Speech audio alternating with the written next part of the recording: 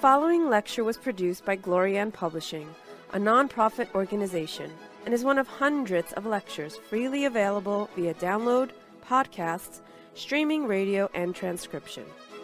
These lectures range in topic and complexity in order to address the many needs of humanity. We invite you to browse our library of lectures, books, courses, and articles to find teachings that suit you. Through the support of donations, Glorian Publishing has published 40 books, hosts international retreats several times a year, offers free online courses, and many other valuable resources, available to anyone worldwide. All of this has been made possible by the financial support of listeners like you. Your donations make it possible for this free public service to reach thousands of people every day. To make a tax deductible donation in any amount, even anonymously, visit GnosticTeachings.org. Now, with heartfelt wishes for the end of suffering for all creatures, we begin the lecture. May all beings be happy.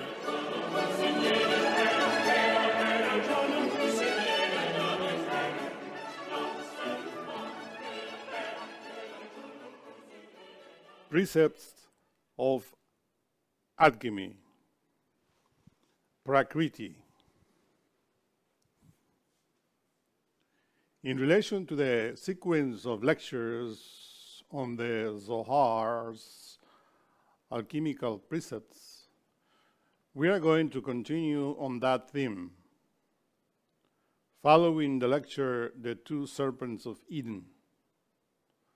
So, once again, we should address the serpent in relation with the Hebrew letters as numerical living entities. And in relation to our Divine Mother Kundalini, the magical brazen serpent of the divine or the divine brazen serpent of our, of our magical powers.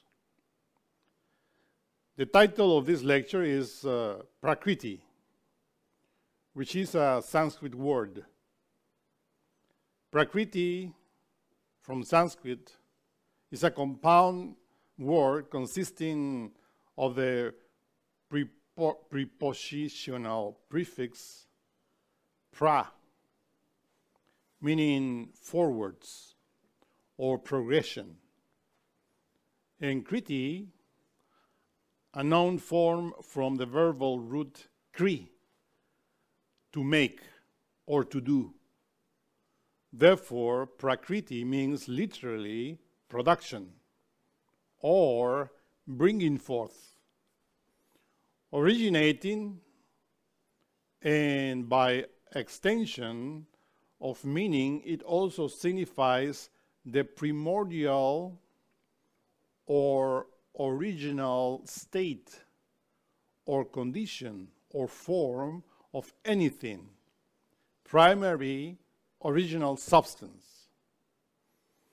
The root of or parent of Prakriti is Mula Prakriti or root of Prakriti.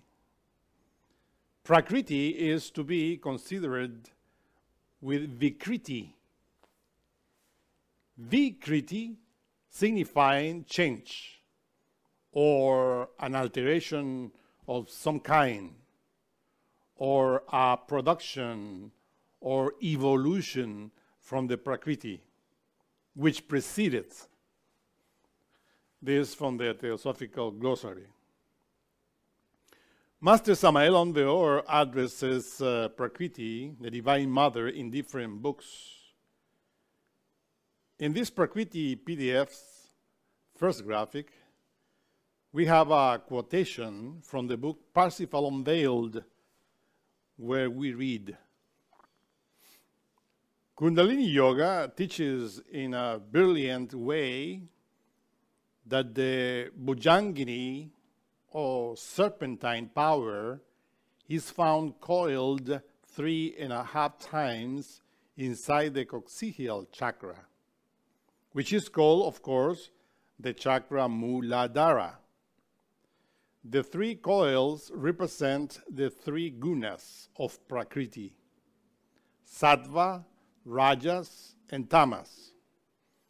It is an axiom of the occult wisdom that the remaining half tail represents Vikritis, the demonification of Prakriti, the eternal feminine. Parsifal unveiled by Samael Aun We can see that the Sanskrit word Vikritis is plural of Vikriti, which is very similar to Prakriti.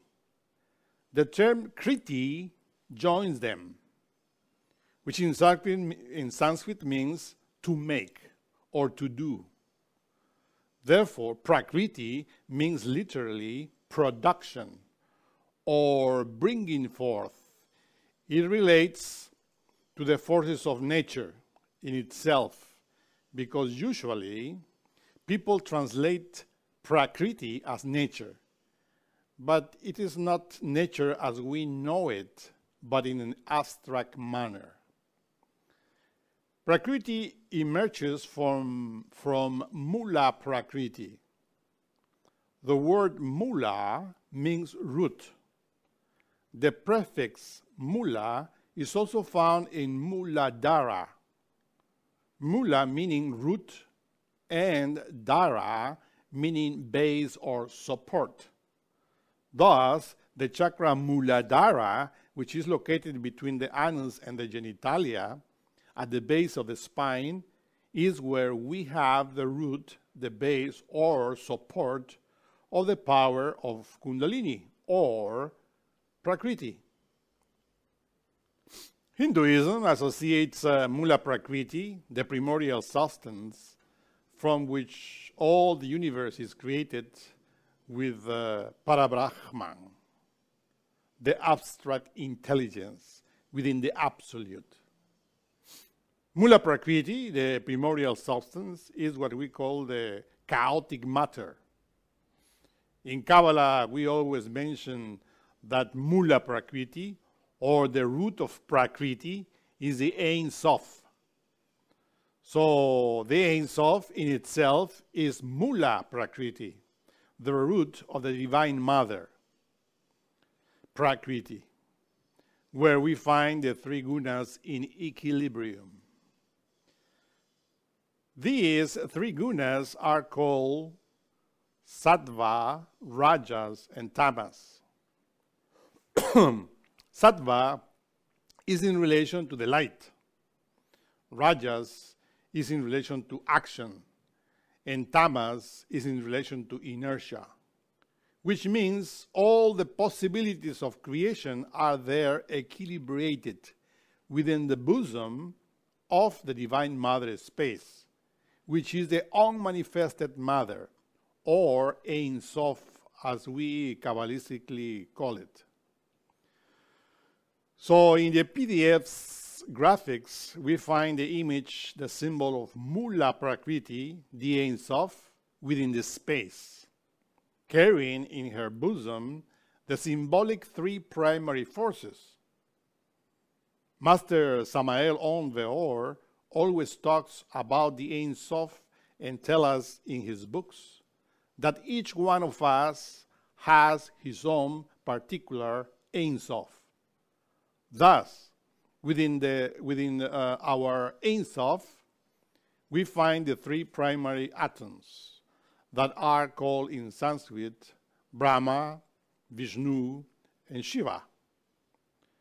They relate to the law of creation.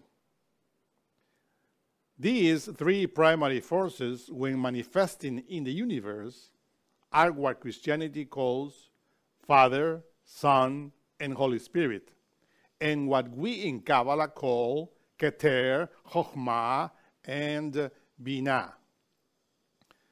These three primary forces have to awake all the creative possibilities of the Ein Sof, the Mula Prakriti. And this is why they appear in the universe Father, Son, and Holy Spirit. In order for the Ein Sof to develop consciousness, knowledge. And this is precisely the main point here when entering into this topic. The matter itself, as a primordial substance, Prakriti, exists in all creation. Thus, we had to develop the intelligent power of Prakriti in order to manipulate, to equilibrate, to handle her three gunas. This is why Master Samael explains that in the beginning of creation, the three gunas enter into this equilibrium.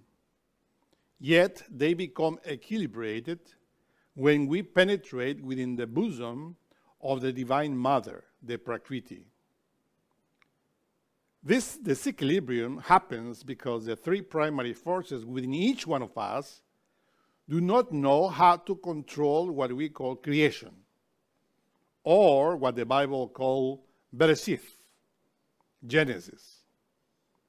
And this is precisely the meaning of the beauty of this creation. Hinduism teaches that this creation or production that Parabrahman, or the abstract intelligence of the space, can bring about into existence is only possible thanks to the Prakriti, or the primordial substance. So, this is how the different levels of the universe appear when such intelligence enters into action. We address these levels in the lectures where we talk about the seven cosmos. Here we are just briefly commenting upon them. Remember the three coils of the Kundalini serpent that are dormant in the Muladhara chakra, represent the three gunas. It is obvious that in us, the three gunas are imbalanced. The three gunas in Christianity are represented by the three traitors of Christ, which are Judas, Pilate, and Caiaphas. In Buddhism, they are represented by the three daughters of Mara. The gunas are perverted in us as the three aspects of desire within our three brains, which we have to balance because the Vikritis, modification of the three gunas of the Prakriti, are in us.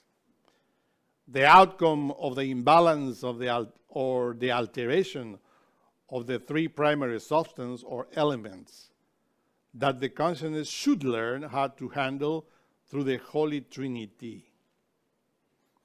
Obviously, when we do not have knowledge, when we are rooted in ignorance, in tamas, we create only ego.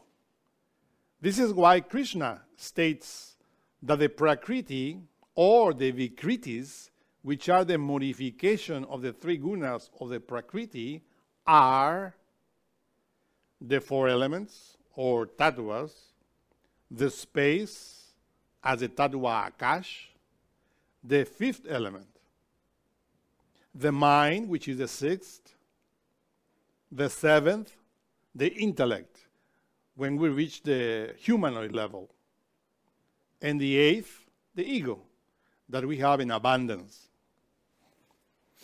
All of these eight modifications are vikritis, the outcome of the modification of the three gunas. Vikritis have become perversions in us because we don't know how to handle the three gunas. This is why Master Krishna states that we have to balance the gunas in us in order to reach self realization. Let us read what the Bhagavad Gita says in relation to this topic. The great Prakriti is my womb. In that I place the seed. Thence, O Bharata, is the birth of all beings. Whatever forms are produced, O Kundreya, in any womb whatsoever, the Prakriti is their womb and I am the seed giving father. Sattva, Rajas, and Tamas, these three gunas, aspects or qualities, born of the Prakriti, Almighty Arm One, bind fast the embodied to the body. Of these gunas, sattva, which from its stainlessness is luminous and good, binds by attachment to happiness and by attachment to knowledge. O impeccable one! Know thou, O Kuntreya, that Rajas is of the nature of passion, the source of desire and attachment. This guna binds fast the embodied being to action. But know thou, O Bharata, that guna tamas is born of ignorance, deluding all embodied beings. It binds fast the embodied being by heedlessness, laziness, and sleep. A sleep consciousness, the sleep of soul, consciousness. So as you can see, these uh, three gunas are perverted within each one of us. this graphic shows us very clearly that the gunas are behind Krishna like the three children. Because in reality, the three gunas are just elements placed in our three brains with which we can work with. The Prakriti is independent from the gunas. But the gunas emerge from her, as children emerge from the womb of their mother. This is what we have to understand. So, in us, we have the three gunas unbalanced. These are the materials with which we have created many egos. Yes. Unfortunately, because of our ignorance and lack of knowledge, we have created only perversity. Every single being in the universe has the three gunas. Thus, when we start awakening the Kundalini, then the Divine Mother helps us to control or balance the gunas. In the bosom of the abstract space or the Ein the three gunas are equilibrated. But when they enter into this equilibrium, creation starts. In us, the three gunas correspond with the three coils of the serpent in the Muladhara chakra, and the half coil represents the Vikritis, which are the modifications that we need and could develop, but with intelligence. This is what we had to comprehend and understand about the three and a half coils of the serpent which relates to the Kundalini, which everyone has but not awakened. The Master Samael states that when the serpent that is coiled three and a half times in the Muladhara chakra awakens, it emits a sound like the letter S, like and it starts its ascension to the spinal column. We were previously talking about the serpent, and we will address it again in relation to Kabbalah. We will address how important it is to understand what Prakriti is, to understand what the three coils of the serpent are in us, and what the symbols of these three coils are in relation to the Prakriti. The primordial substance, Prakriti, the gunas, and Vikritis, with which we can create and perform magical things, are inside of us. If we know how to awaken it. Master Samael Aun states in the book uh, Parsifal Unveiled Prakriti, the Divine Mother, is a primordial substance of nature. Several substances different elements and sub-elements exist within the universe. But all of these are different manifestations of a single substance. The Great Mother, the Prakriti, the primordial matter, is a pure akasha, contained within the entire space. Maha Manvantara and Pralaya are two very important Sanskrit terms with which Gnostic students must become familiarized. Maha Manvantara is the great cosmic day. Pralaya is a great cosmic night. During the great day, the universe exists. When the great night arrives, the universe ceases to exist and becomes dust, dissolved within the bosom of the Prakriti, which we said is the Ein Sof. The immeasurable infinite space is full of solar systems, which have their Mahamanvantaras and their pralayas. While some are in their Mahamanvantaras, others are in their pralaya. Millions and billions of universes are being born and dying within the bosom of the Prakriti. Every cosmos is born from the Prakriti and is dissolved within the Prakriti. Every world is a ball of fire that becomes ignited and extinguished in the bosom of Prakriti. Everything is born from the Prakriti, everything returns to the Prakriti. She is the Great Mother. Regarding Prakriti, the primordial substance and her modifications, the book of Genesis states, and Yod Hava Elohim, that in Sanskrit is called Parabrahman, the intelligence of the Absolute manifested in creation, formed Adam from the dust of Adamah. Obviously, in this case, the word Adamah from the Hebrew language relates to Prakriti, the Divine Mother, which represents the space, the Akasha, the primordial matter, and the dust represents the elements and substances or modifications of that primordial substance. Vav, the Yod Hava Elohim, para Brahman, planted a garden, a prakriti in nature, its ward in Eden, in Yesod. And there, as Anupadaka Tattva, he put Adam, the Adi Tattva, whom he had formed. So, from the Vav, out of Adamah, the Akasha, made Yod Hava Elohim, para Brahman, to grow every tree, living tattvic force, that is pleasant to the sight and good for food.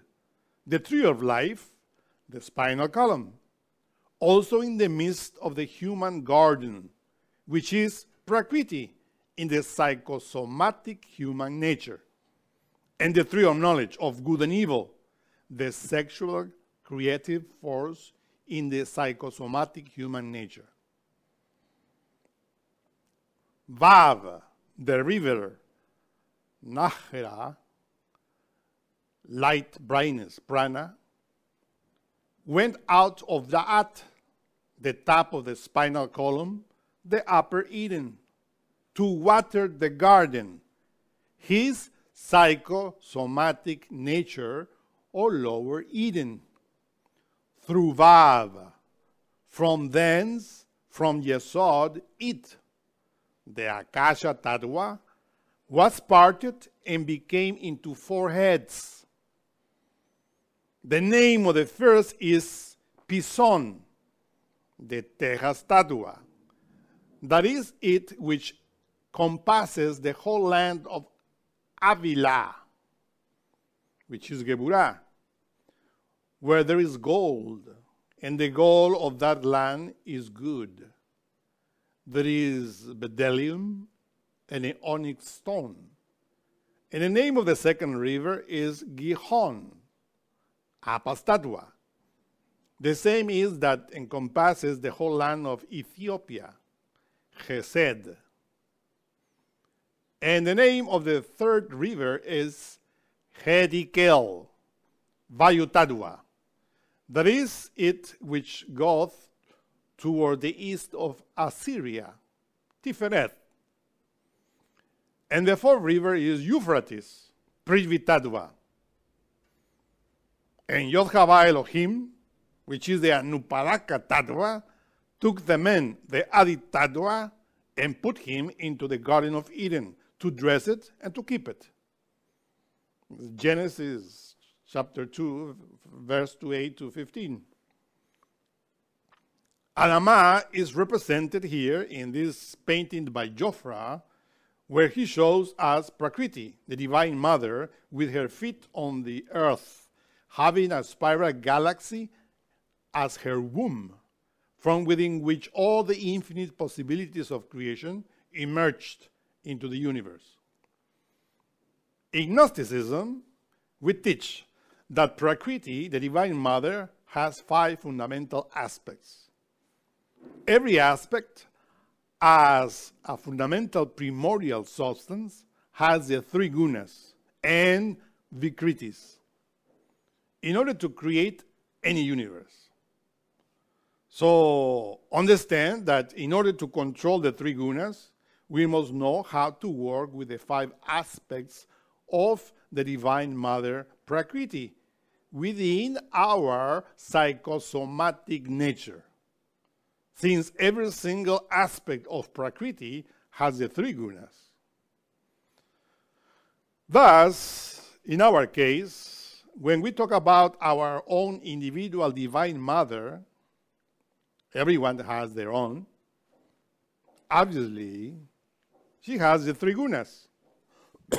Thus, with her help, we control creation. This is why the book of uh, Genesis states that Jehovah Elohim, which in English is translated as the Lord God, formed Adam from the dust of Adamah. This Adam is the true man, the true human being, is formed from the dust of Adamah.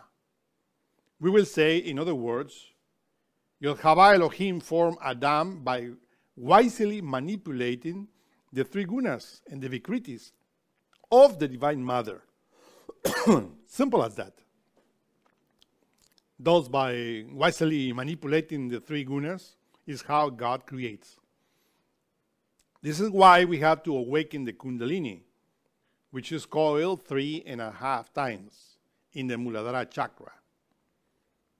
When that Kundalini awakens, then God, through the Anupadaka Tattva, which is our case, in, in our case will be Binah, our own particular Yochava Elohim, will begin controlling through the pineal gland the three gunas in us in order for Adam to emerge in our psychosomatic nature.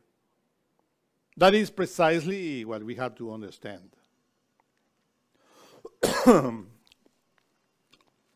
Yehovah Elohim and uh, Adama is the same Brahma Prakriti or Purusha Prakriti.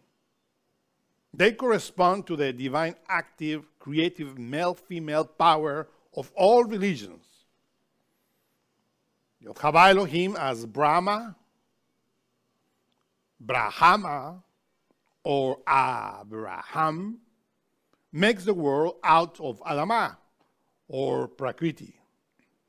the same creative process that happens through Brahma in the universe happens through Abraham within the individual human being.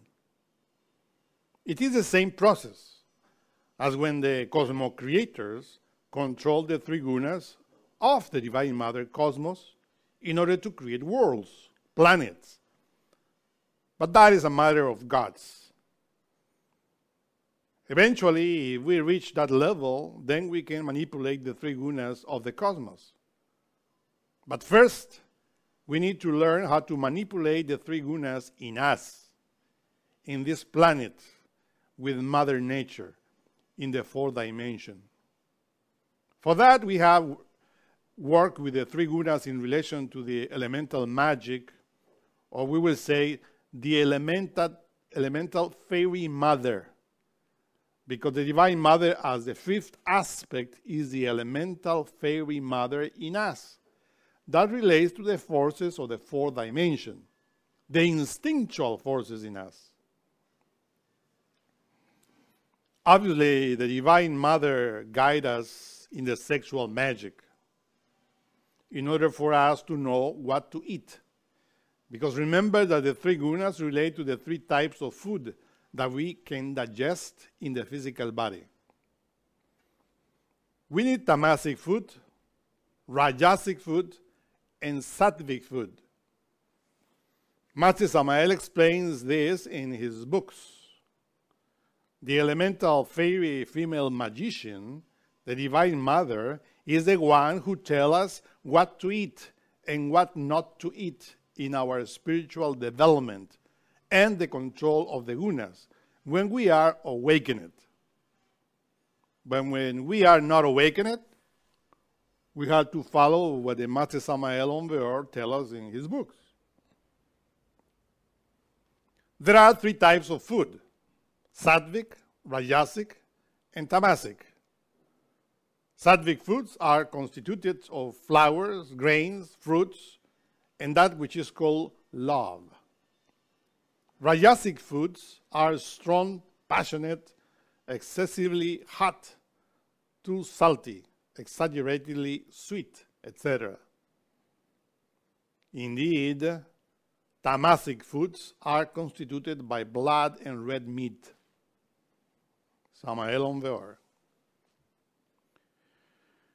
We have to moderately, moderately eat, with moderation, all types of tattvic foods in order to control the three gunas. Yes, we have to control them. Yet understand it is the Divine Mother who help us to control the gunas, whether it is Mother Nature or the elemental Mother, or even Mother Death. Because in order to walk the path of equilibrium, we must annihilate the three perverted gunas in us. Yes, in order to overcome the three furious, furious in us, the three furies, have to we have to watch the Divine Mother dead. This is in order for her to annihilate the perverted gunas that all of us have alive. As we stated in the beginning, these uh, three gunas are perverted in us because of our ignorance. We have transformed them into the three traitors of Christianity Judas, Pilate, and Caiaphas. They are also represented in Masonry as the three assassins of Hiram Abiff, whom everyone has within. We can also refer to them in Buddhism as the three daughters of Mara. These are the same gunas.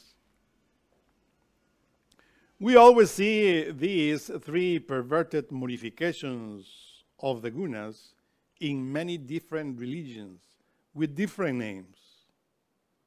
The point that we have to understand is this they are perverted creation that we have made because of our ignorance. And the only one who can help us to balance them is the Divine Mother in any of her aspects. Because again, there are five aspects of the Divine Mother Kundalini. Now, if we follow the sequence of lectures that we have last time in relation to the serpents of Eden, here again we are addressing the development of the brazen serpent according to the book of Zohar. So we are going to go deeper into this theme because people think that when we address the Kundalini serpent, this is only related to India and to and and they don't know what the Bible states. Yet the Zohar mentions this serpentine power in every hidden manner. A very hidden manner. which we are going to unveil for the benefit of those who want to understand what the snake symbolizes in the Bible. We are addressing the three Hebrew letters Yod, Vav, and final Nun in the previous lectures. They spell the, spell the word Eon. The word Eon reminds us of Eon because Yod, Vav, and final Nun can be read as Eon as well. Now, there is a word that is very significant yet common in this day and age. This word is Zion. And what is Zion? Well, alchemically speaking, Zion is related to the alchemical work that we perform. Let us read the following biblical quotation in accordance with alchemy, with gnosis. Therefore, here said Adonai Jehovah, Here I am in Yesod at Zion, a stone, a tried stone, a cornerstone, precious, founded in Yesod. The faithful will not rush. Isaiah chapter 28, verse 16. The former is an alchemical statement. It's translated in many ways because there are many translations of the Bible. Yet the people who translate this particular verse are not alchemists. But we are alchemists, and we know what we are talking about. For instance, the letter that we write before Yod, Vav, and final Nun is the letter Zadi, that is commonly associated with the word Sadik. When Kabbalists see the letter Zadi, they say Sadik, which means righteous. When we observe the letter Tzadi, it looks like an inclined letter Nun. In Kabbalah, we know that the letter Nun is just a letter Vav, bent on top and in the bottom. It is bent in the neck and bent at the base of the spine. So a letter Vav bent on top and in the bottom is shown in the shape of the letter Nun. Yet, the letter Nun, shown in the shape of the letter, of the letter Zadi, is inclined forward. This in order to hold on its back, which is the letter Vav, the spinal column, a letter Yod.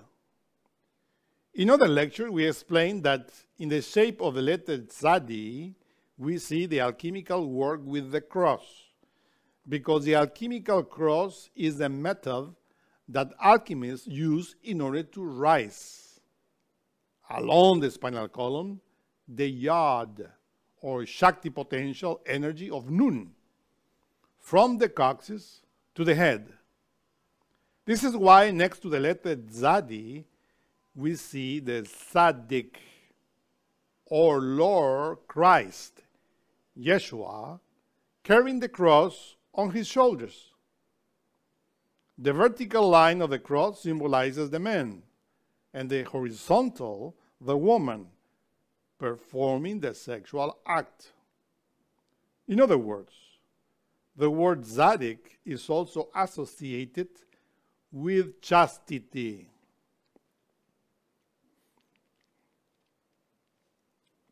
And I will betroth thee to me forever. Yes, I will betroth thee to me in righteousness, which means Zadik and in judgment, and in loving kindness, and in mercies. Hosea chapter 2, verse 19. In the shape of the letter Zadi, we see the Tsalem, Hebrew for image, of the Lord carrying the cross from the very bottom of the spinal column the coccyx, towards the mount of the skulls, which is our head. The spinal column is precisely the Mount of Zion.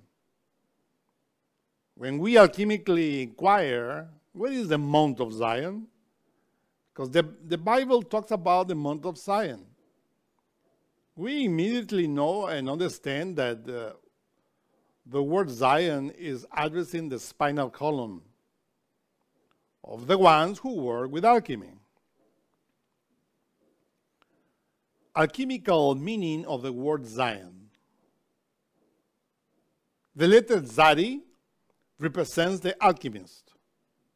The letter Yod is the head of the alchemist.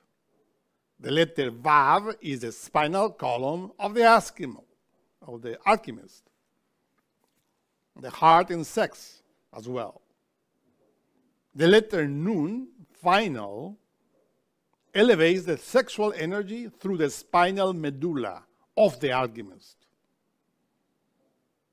The foot of Nun, final, reaches even the klipoth of the alchemist. Thus, through Nun is how the alchemist enters into the purification of the gunas. That is why the letter Nun, which means fish, is inclined in the shape of the letter Zadi. This inclination also symbolizes humbleness, humility, and the way we enter into the New Jerusalem or the New Zion. That's why Isaiah in chapter 52, verse 1, stated Awake, awake, put on thy strength, O Zion, Put on thy beautiful garments, O Jerusalem, the holy city. For henceforth there shall no more come into thee the uncircumcised and the unclean, fornicators. When people read the former quotation, they think that the soul of a particular righteous person will eventually enter into a particular fortress. Indeed, but that fortress is the spinal medulla. If you visualize the 33 vertebrae, that is the Mount of Zion on which every alchemist works. Because in order to enter into that eon, Zion, you have to be a Zadik, meaning the one who knows the mystery of alchemy or righteousness. Let us see how the Zohar unveiled this so easily and beautifully for us. We explain about the Prakriti because it is precisely the Prakriti, the Shekinah, which is the brass and serpentine force, who ascends the Mount of Zion. If you observe your spinal column and your head, you will see that it has a serpentine shape. Our physical head is on top of the spinal column, which has a serpentine shape. Thus, this is why a human head is always the head of the serpent. This is why the biblical serpent is always drawn with a human face. The Bible calls it the serpent of bronze or the brazen serpent and the tempting serpent of Eden. So when we work in Zion, we are working with the serpents. It is coming into my mind at this very moment how, in this day and age, some people talk about the reptilian people and how they make jokes about it. To tell you the truth, a serpent is a reptile. Kabbalistically, Moses is a crocodile and a serpent a reptilian. And every single master that awakens the Kundalini eventually becomes a reptilian being, which means a god, in other words. But not like that ridiculousness that you find on the internet. We also find reptilian initiates amongst the Aztecs, Quetzalcoatl, the feathered serpent, among the Mayans, Kukulkan and Wotan. They are reptilian gods. In the Bible, God commands Moses to worship a reptile, a serpent. Numbers chapter 21, verse 8 states, And Yodhavah said unto Moses, Make thee a fiery serpent, and set it upon a pole, and it shall come to pass that every one that is bitten, when he looks upon it, shall live. Listen. This is, this is not like many people think an actual brazen serpent or a snake that was alive. Ignorant people do not understand this alchemical symbol. We have to study alchemy in order to know what the serpent means. Because Jesus of Nazareth, who carried the cross toward the Mount of the Skulls, which in Hebrew is Golgotha, did it, indeed, by worshiping, better said, by alchemically working with the same serpent that Moses worshipped in the wilderness. This is why, that, why Jesus uh, said in, in the Gospels, in John uh, 3, verse 14. And as Moses lifted up the serpent in the wilderness, even so must the Son of Man be lifted up to Golgotha. Yes, Jesus was another reptile master. In other words, an immortal, because the brazen serpent gives power to anyone who knows how to work with the Prakriti. The brazen serpent is a symbol of the divine mother nature that is controlled, manipulated by the forces of the Holy Spirit when we know how.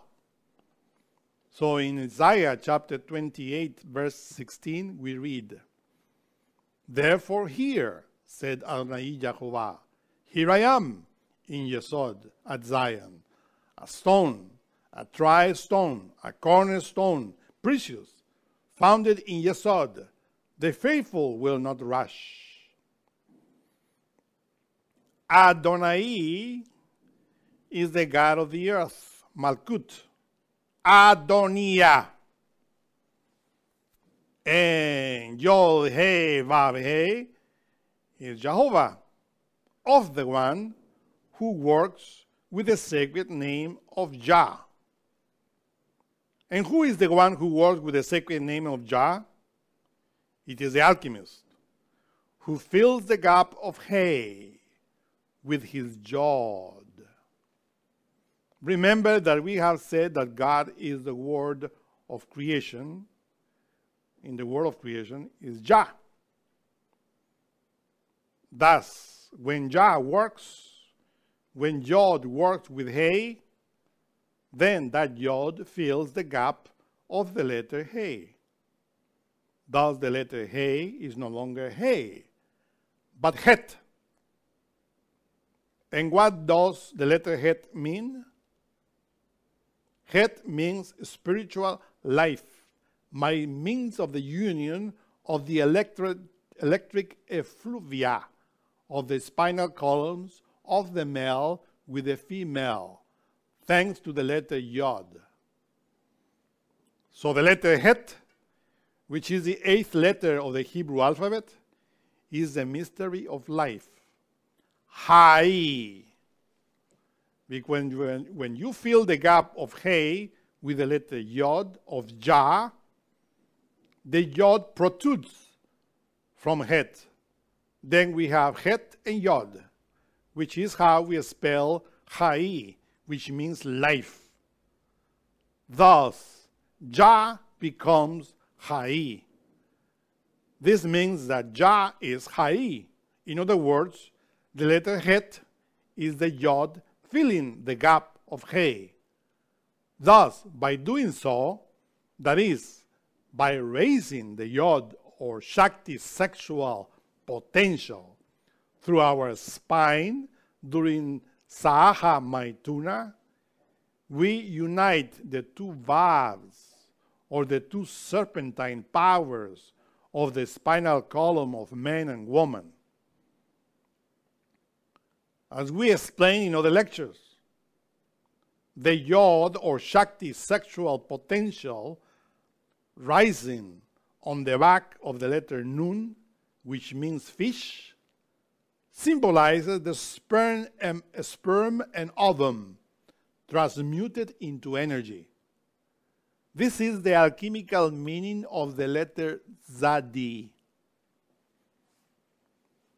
If we observe the word Zion, we will see two letters, Nun and two letters Yod in it. The first Nun is an inclined letter Nun forming the shape of the letter Tzadi, which is carrying a letter Yod on its back. Both letters make the shape of the letter Tzadi. The second letter Yod follows the letter Tzadi, and at the end of the word is the second Nun as final.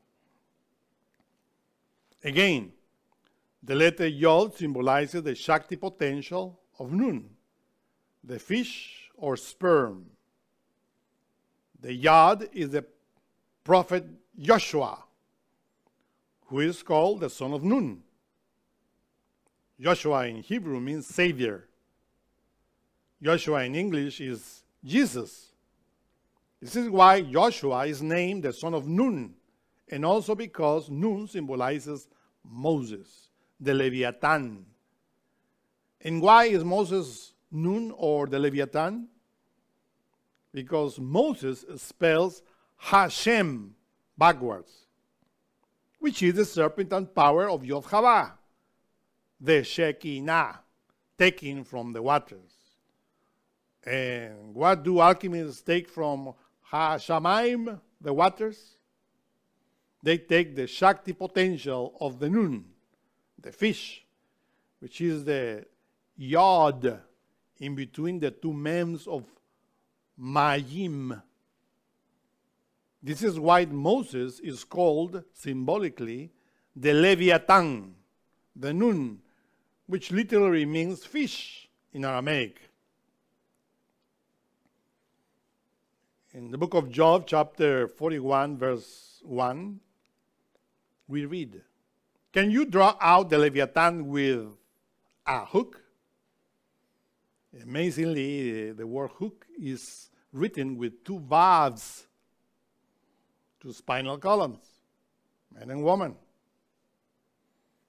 Moses, the Leviathan, really symbolizes the willpower that is developed when the alchemist, the righteous, draws out the yod, the Shakti potential, from the nun, the fish, the sperm, and the ovum, and sublimates it, sublimates this energy along the spinal column.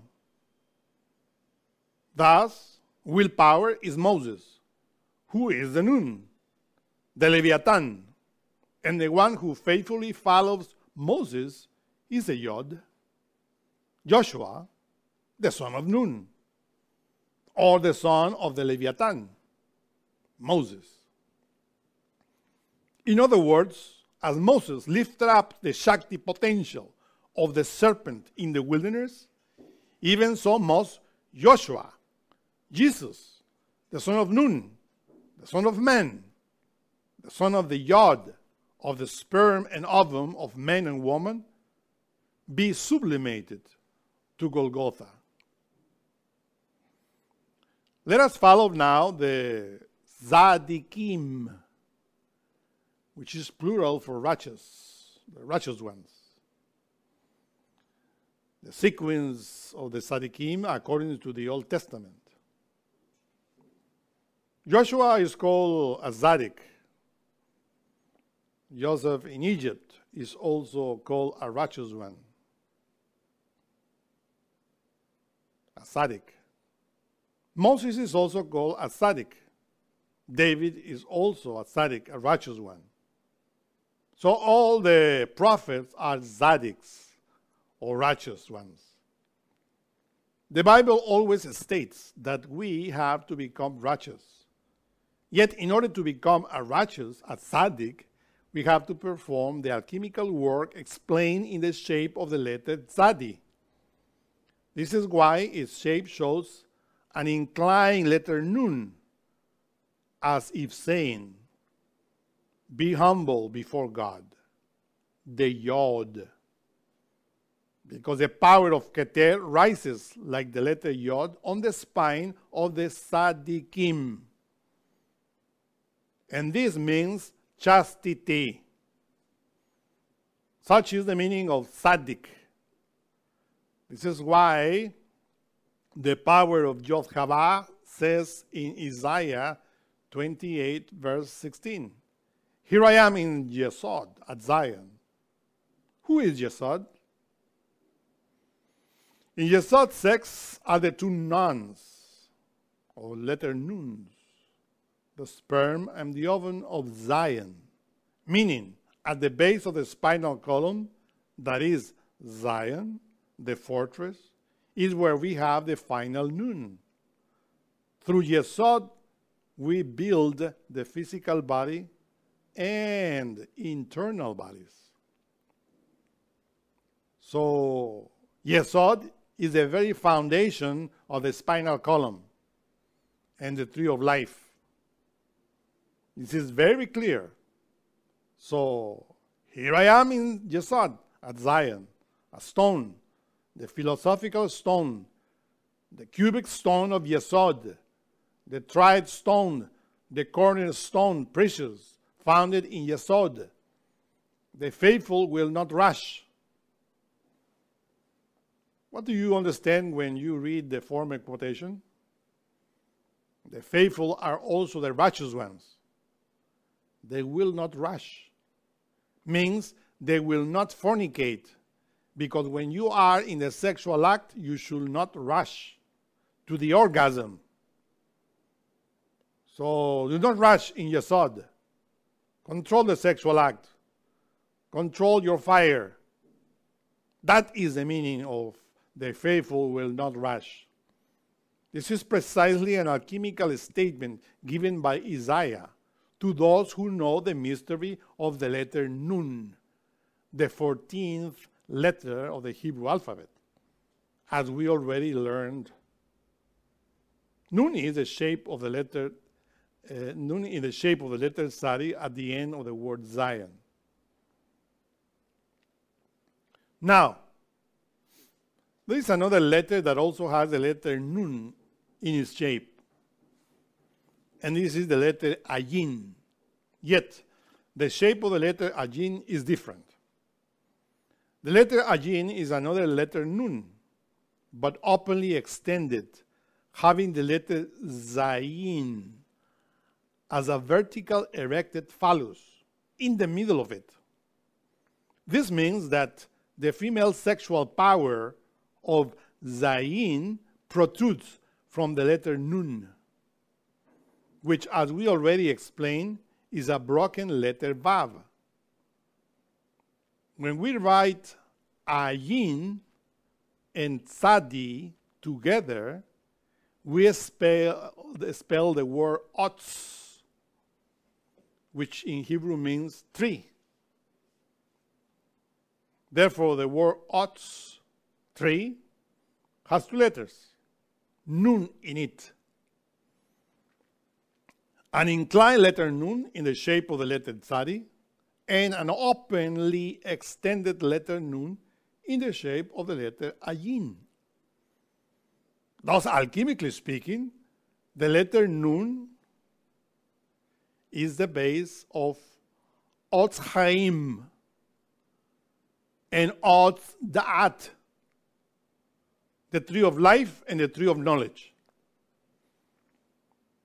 This is why the Kabbalists of the Zohar state that out of Adamah may Yodhava Elohim to grow every tree, every alchemist, every Zadik that is pleasant to the sight and good for spiritual food. The tree of life also in the midst of the alchemist garden, his physicality, and the tree of knowledge of good and evil. So all alchemists are trees pleasant to the sight. and good for spiritual food. Indeed, because any alchemist, any white magician is represented with the letter Vav, which is in the middle of Sadi and Ayin, making the word Oz or the Wizard of Oz, a priest who works with the forces of Nun, the divine mother, the Prakriti, in his spine. That is the Wizard of Oz. Bereshith bara Elohim. In the beginning, created Elohim. Alchemically, these words are read Brit Esh Bera Elohim. Pact of fire created Elohim. These words, says the Zohar, Bereshit Bera Elohim, are included in the first commandment, which is known as the fear of the Lord. The first step in the acquiring of true wisdom and knowledge. It is also called the beginning because it is the true gate through which we enter into the higher mysteries of the divine life and is the foundation upon which the world, the world exists. When we read that the Zohar states that the words Bereshit Bera Elohim are included in the first commandment, which is known as the fear of the Lord, we understand that in order to comprehend this statement, we have to be alchemists.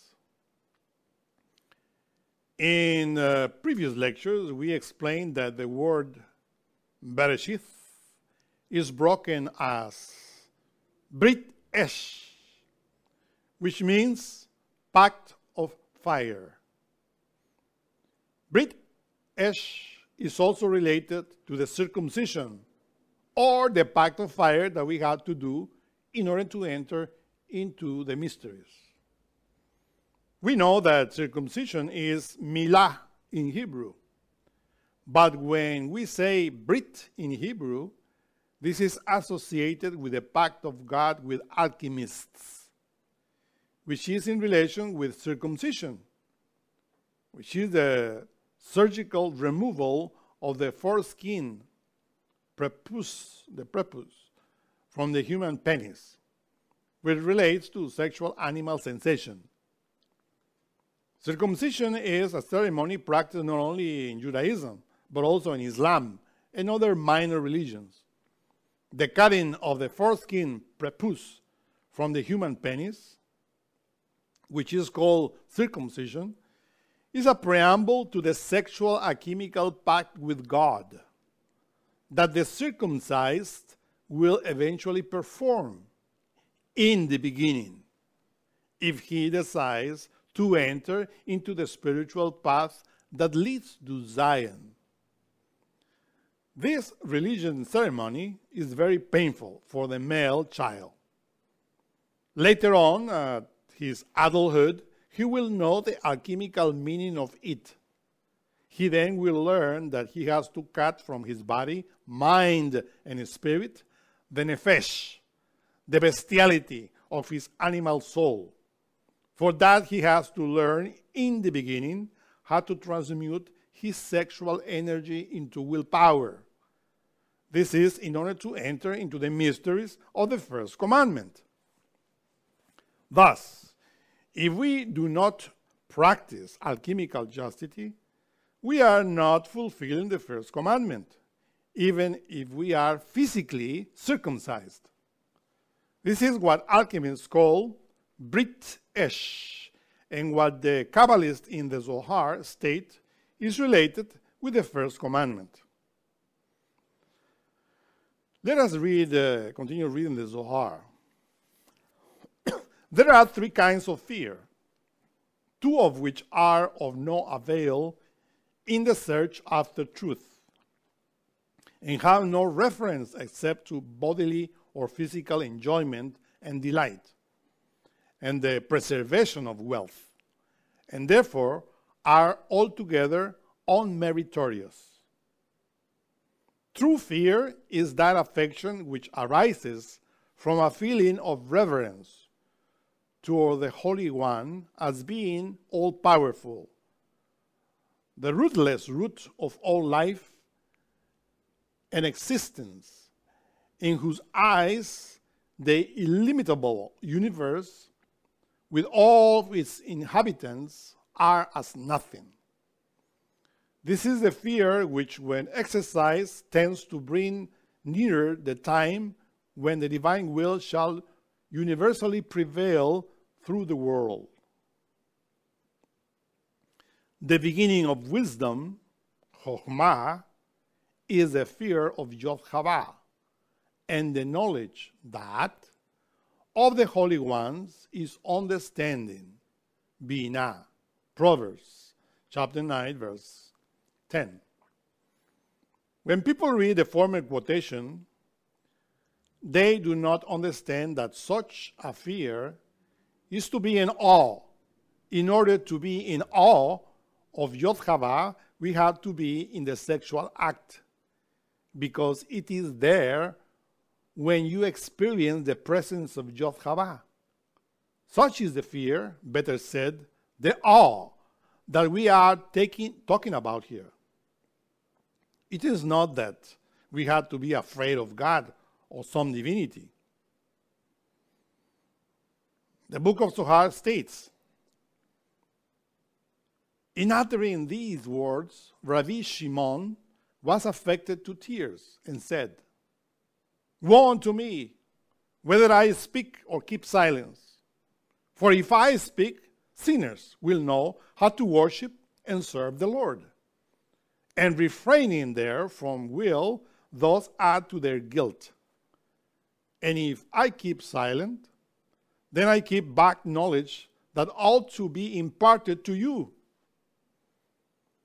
The man whose fear springs from a dread or affliction that may assail him falls under the power of an influence of evil that becomes his tormentor. The only right fear is that described by Scripture as the beginning of wisdom is to be in awe of Hava, in that where we find the holy ones Abba and Aima from Binah. The word Teheloth, the beginning, is associated with letehelev, to emulsify, which, eh, which is what alchemists do. Because Proverbs chapter 9, verse 10 does not say Bereshith, the beginning, but Tehelath, which also signifies the beginning. But why is not written Bereshith? It is in order to point at Letehelev, because to alter the state of matter is what alchemists do. Alchemists emulsify when they mix, when they wisely transform elements within their psychosomatic nature while performing the sexual act we are emulsifying the primordial substance in the beginning of our alchemical work. And that is the beginning of wisdom, which is also Brit Esh, the pact of fire. Such pact of fire is performed when we are in the sexual act, when we feel the fire in our sexual organs. Such is the beginning of wisdom, if you know how to transmute your sexual forces, that is, in the beginning of wisdom, through sexual alchemy, by being a righteous one, a tzaddik, is how Prakriti, the Shekinah, rises in our spinal column in the city of Zion. If you do not do emulsify, you are just wasting your time because letehelev, to emulsify, is associated with the first commandment, that is, to be in awe of Yod in the very sexual act. Rabbi Shimon Bar Yochai said in the Zohar, For if I speak, sinners will know how to worship and serve the Lord. The sinners in this case are us, the fornicators, who will know how to worship the Lord. Yet, if we do not know it, we will add to our punishment. And this is why he is in tears. I mean, if we don't do it, we will add to our punishment. In other words, he says, Woe is me, because if I explain this, I will help the sinners to stop being sinners. But if they keep doing what they are doing, which is fornicating, they will add more to their karma because they will know what they are doing. Whoever begins the divine life with it, with Brit Esh, begins well and observes all the other precepts which are included in it. Did you understand that Bereshit Bera Elohim, in the beginning created Elohim? Or did you understand that Brit es Bera Elohim? In other words, did you understand that if you worship Yod in this alchemical manner, you are creating an Elohim within you? Because Bereshith created Elohim, our monad, the heavens, our souls, and the earth, our solar bodies. On the contrary, Whoever exercises it not breaks and violates them. And to him may be applied the words of the scripture. Whoever exercises not this, the following words will be added to, to him or to her. And the earth was formless and void, and darkness was upon the face of the great deep and the Spirit of Elohim moved upon the face of the waters. The former statement of Genesis is directly applied to the hypocrites who fornicate in spite of knowing that they should not. For them, their earth, their psychosomatic nature, is without form and void, since darkness is upon the face of their subconsciousness, unconsciousness, and infraconsciousness.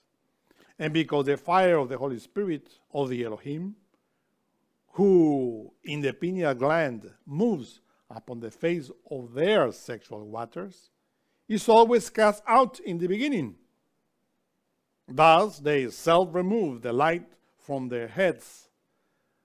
That is, they self behead themselves by means of their abominable spasm their filthy orgasm. Therefore, in Genesis verse, I mean chapter 1, verse 2, it describes the four kinds of punishments inflicted upon the ungodly, that is to say, upon the hypocritical fornicators. The book of Zohar states, Tohu, without form, the punish of, punishment of strangulation referred to by the prophet Isaiah in the chapter 34, verse 11. And he will stretch over her the measuring cord of tohu, confusion, and the plumb stone of bohu, emptiness. The cord of tohu ve'bohu which ejects great stones by which fornicator are stoned, which is the second kind of punishment. How does the one who fornicates receives the punishment, the punishment of strangulation? During the contraction of the orgasm, the sphincters and prostate violently force the crystal solar light stored in the semen to be expelled out of the body. So, through the orgasm, Eve, the sexual cord, sexual cord named Ida, stretches out, thus stopping the flux of sexual creative life fluid from flowing towards Adam, the brain, and leading it to unconsciousness and spiritual death by the increasing of a deficiency of the living Christic light. Deficiency of the living Christic light. When what is in chastity and transmute the sexual energy, the Christic light stored in the semen is sublimated and nourishes the blood in the heart, which in turn feeds the brain. All the creative energy or sexual force is placed in the heart. The brain takes from the heart in order to be enlightened, awakened. But when you fornicate, your punishment is by strangulation, meaning that the Christic light stored in the semen no longer goes up to your heart and brain, because through the orgasm you have stretched the cord ida, thus strangling yourself by preventing the Christic life and light of your sex and heart from rushing to the brain. Remember that it is stated that Eve, the serpent Ida, ate of the fruit, the Christic light stored in the semen of our sexual organs, and gave to her husband, Adam the brain. So that that is the meaning of strangulation, where the brain is no longer in communion with the fires of the heart, because we have strangled the Christic light from the blood through the orgasm.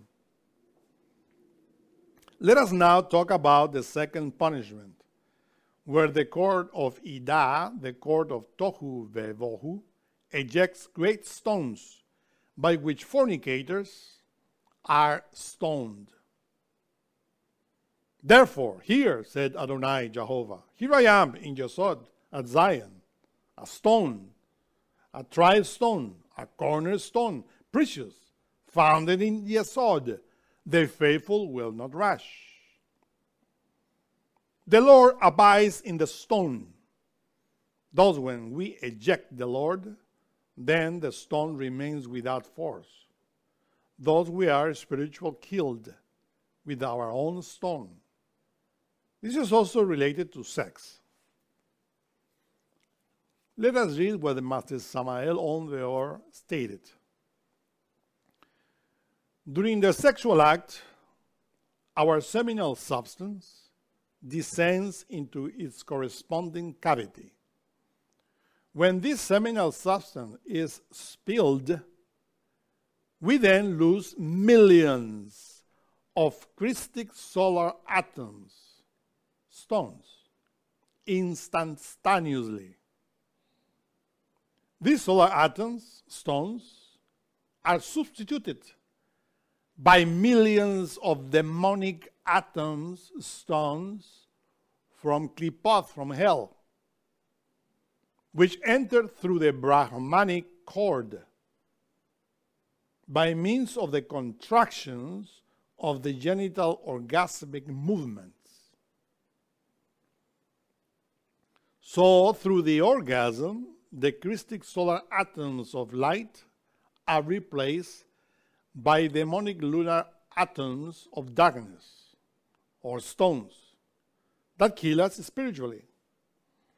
Therefore, alchemically speaking, stoning is a physical and a spiritual self induced punishment.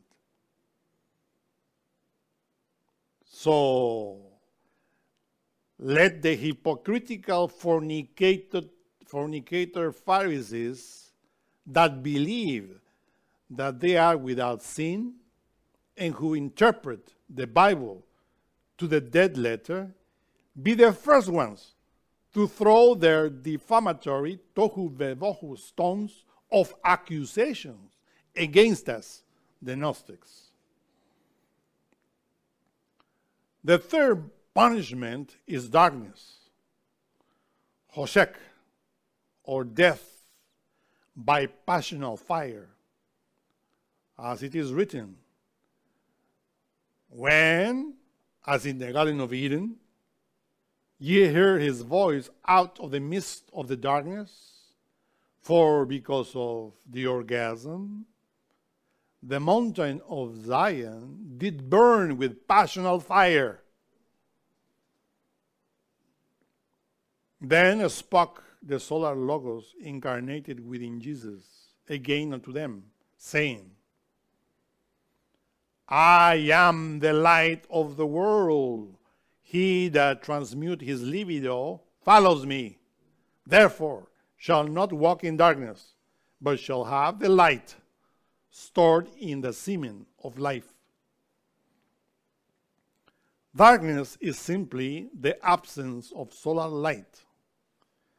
The solar Christ is the light that grants us awareness of the internal worlds and of our inner God. But when we fornicate, we violently force the Christic solar light stored in the semen to be expelled out of the body. Thus, darkness is the only element that remains upon the face of our deep, our consciousness. That's why Judges chapter 16, verse 20 and 21 states Then Delilah, or Lilith, through the orgasm, drained the strength of the sun out of Samson, Samson's gonads, and said, The Philistines, psychic aggregates, are upon you, Samson.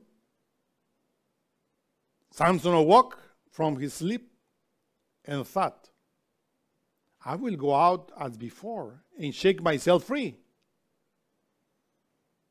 But he did not know that because of the orgasm, Yodhavah have left him.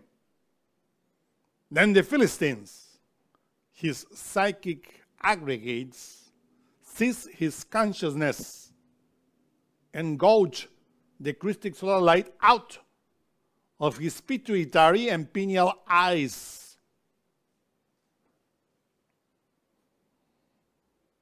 Thus, as Samson, now we are bound with bronze chains and forced to grind or grind grain in the wheel of samsara. If we close our physical eyes and try to see within our own subconsciousness with the eyes of the spirit, we find darkness and all of that filthiness all those egos or Philistines. Now, as Samson, we want to shake ourselves free. But this is not easy. For that, we had to work hard in alchemy in order to overcome the darkness. Because we made that darkness with our sexual behavior. The words and the Spirit of Elohim moved upon the face of the waters, refer to the fourth mode of punishment death by beheading with a sword. It is written, and he placed at the east of the Garden of Eden cherubim and a flaming sword, which turn every way to keep the way of the tree of life. Genesis 3:24. This flaming sword bears the name of spirit and symbolizes the infliction of death meted out of the transgressors of the commandments of the law. In other words, fornicators self behead themselves because the sexual fire stored in their sexual creative waters that in the beginning should victoriously rise through their spinal column up towards their pineal gland by means of the will of the Holy Spirit is instead by, me, by means of their evil will cast out because of their filthy orgasm. Thus, this is how they self cut their heads off and send them down into the abyss. This is what literally happened to this great initiate Zanoni, which, if you spell his name with Hebrew letters, it will be with Sadi in the beginning. Zanoni was an immortal master, but he fell in love with a singer in, Na- in Naples, Italy. He fornicated with her. Thus, the outcome of his transgression was death by beheading. This is how Zanoni lost his head in the guillotine. A very cruel example of this type of punishment. Spiritually speaking, one loses the head when one fornicates. Thus, this is how the Zohar explains these uh, four punishments, which are alchemically written in the beginning in Genesis. Thus, if we do not comprehend the first precept, which is Brit Esh, the pact of fire, created Elohim, we then do not comprehend the other precepts, because whoever begins the divine life with it begins well and observes all the other precepts which are included in it. Listen very carefully. Brit Esh Bera Elohim. The pact of fire creates Elohim. Bereshit creates Elohim. This means that the pact of chastity and fire creates an Elohim within you. But if you do not do it, then you, as a psychosomatic earth, will remain formal, formless and void, and darkness will be always upon the face of your psyche, and the Spirit of God will move away from the face of your creative waters, which, as we already explained, such waters are your sexual waters.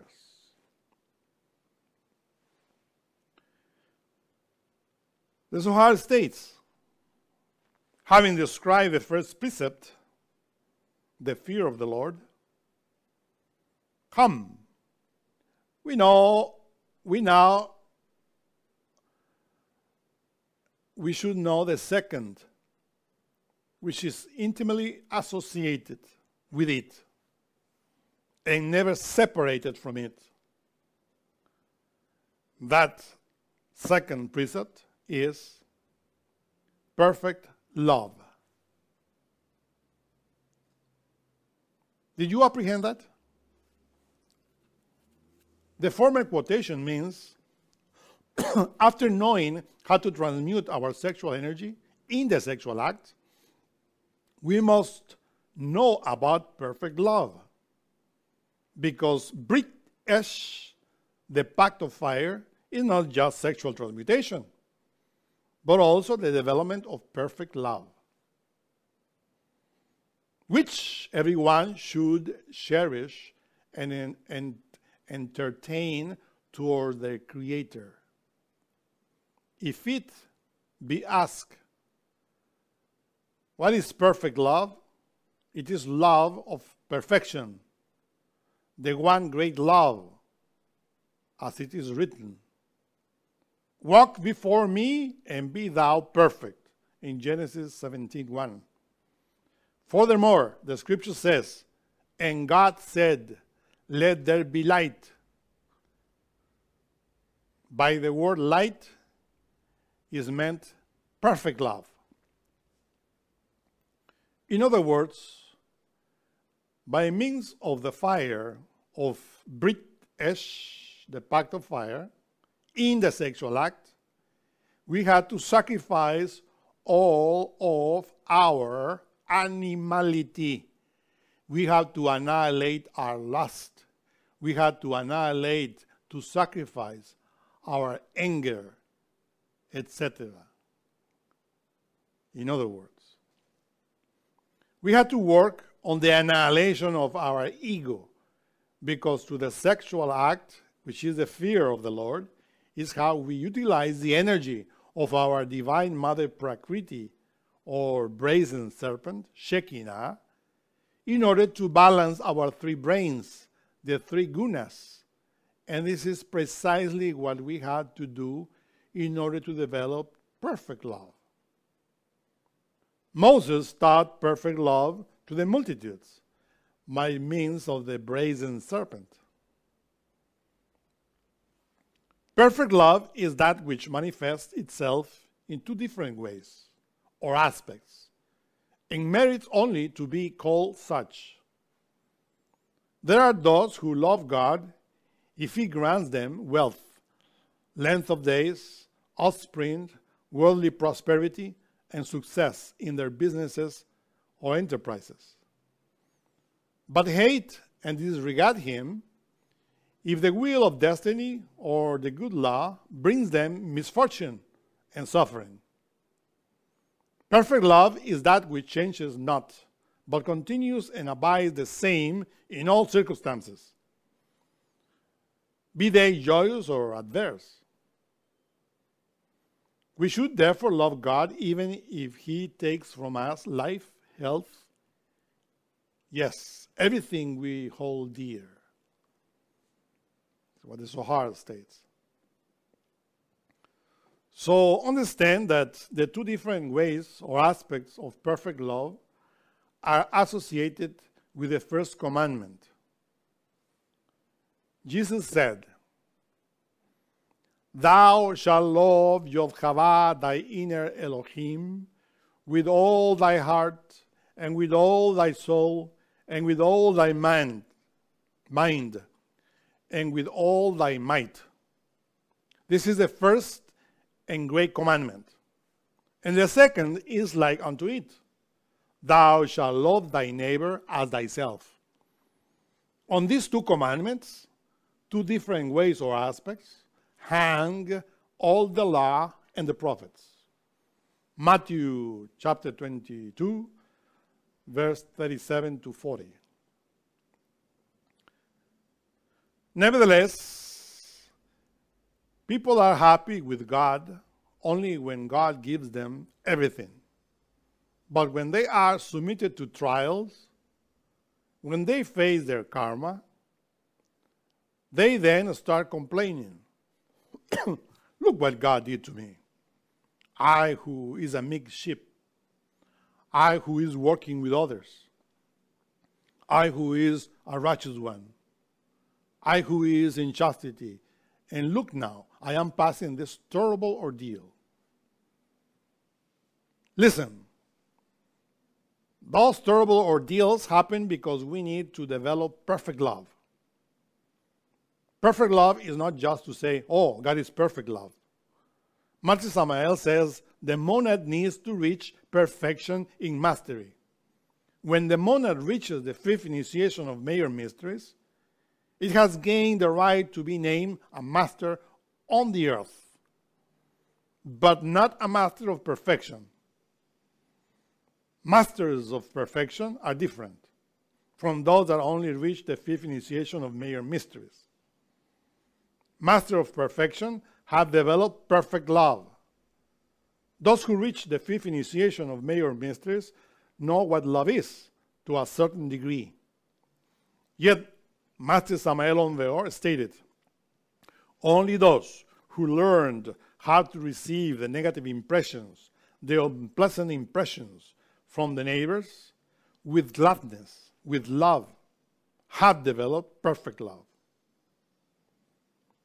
Behold an instance of perfect love. And when they were come to the place which is called Calvary, there they crucify him. And the malefactors, one on the right hand and the other on the left. Then said Jesus, Father, forgive them, for they know not what they do. And they parted his raiment and cast lots. And the people stood beholding. And the rulers also with them derided him, saying, He saved others, let him save himself, if he be Christ, the chosen of God.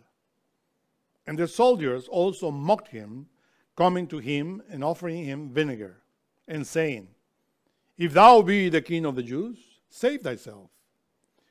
And a superscription also was written over him in letters of Greek and Latin and Hebrew. This is the King of the Jews. And one of the malefactors which were hanged railed on him, saying, If thou be Christ, save thyself and us.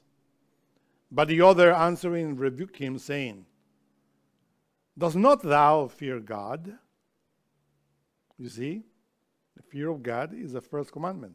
Seeing that thou art in the same condemnation, and we indeed justify, uh, justly, for we receive the due reward of our deeds. But this man had done nothing amiss. And he said unto Jesus, Lord, remember me when thou comest into thy kingdom. And Jesus said unto him, Verily I said unto you, Today shalt thou be with me in paradise. Gospel of Luke 23, verse 33 to 43. Nonetheless, we, in our alchemical marriage, when our spouse is wrongly behaving, when our spouse is doing something unpleasant, there we show very clearly that we have not developed perfect love. Master Samael said, Alchemists must learn how to receive with gladness, with love, the negative impressions of their spouse. If your spouse is treating you badly, learn how to receive that with love, yet not with masochism, but with love. That is, by understanding that he or she is not perfect. This is easy to explain but difficult to practice when we are with our spouse, who indeed is the first one with whom we should learn perfect love. What about love thy neighbor as thyself in the street? Our family? Our acquaintances? the people who we don't we do not know we must also learn perfect love with them. Listen if we make an inventory of reactions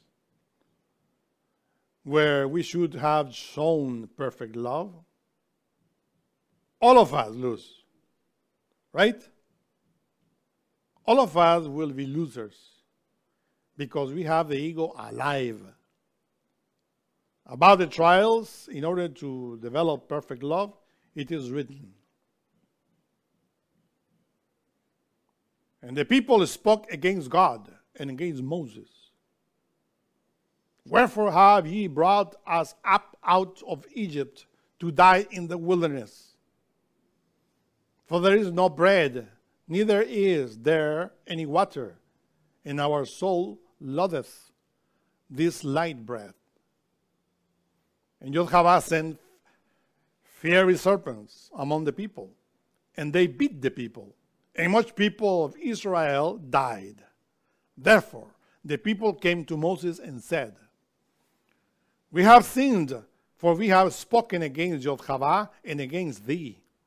Pray unto Yodhavah that he take away the serpent from us. And Moses prayed for the people. And Yodhavah said unto Moses, Make thee a fiery serpent, and set it upon a pole. And it shall come to pass that every one that is bitten, when he looks upon it, shall live. And Moses made a serpent of brass, and put it upon a pole. And it came to pass that if a serpent had bitten any man, when he beheld the serpent of brass, he lived. Numbers 21, verse 5 to 9. The serpent of brass is an alchemical alloy done through sexual alchemy. It represents the very essence of the Shekinah, the essence of the Divine Mother upon a pole, upon our spinal medulla, by worshiping her divine presence on the sexual altar of love is how we manage to develop perfect love. She is the only one that can help us to develop perfect love because she is the very essence of perfect love. Listen, we worship the Divine Mother, the serpent of brass, not only by saying every day, Oh, Divine Mother, I love thee. That is not enough. To worship the serpent of brass and live means to annihilate those egos related with our unpleasant reactions against our neighbor, because the one who annihilates those egos is the Divine Mother. She knows that the three gunas are unbalanced in us. She knows that the three gunas are the three traitors Judas, Pilate, and Caiaphas in us. She knows that the three traitors are very alive inside of us. So Jehovah Elohim, the Holy Spirit, who is the husband of the Divine Mother, said, Make thee a fiery serpent, and set it upon a pole, and it shall come to pass that every one that is bitten, when he looks upon it, shall live. So if we cannot control the serpents that are beating us, those ordeals sent from Geburah, we do not develop perfect love because we cannot if we have the ego alive. So let us worship the Divine Mother. Let us worship the brazen serpent because my people are destroyed for lack of knowledge, says the prophet Hosea chapter 4, verse 6. Please understand that to worship the brazen serpent is not a matter of having a picture of a brazen serpentine sculpture or a live serpent in our home. No.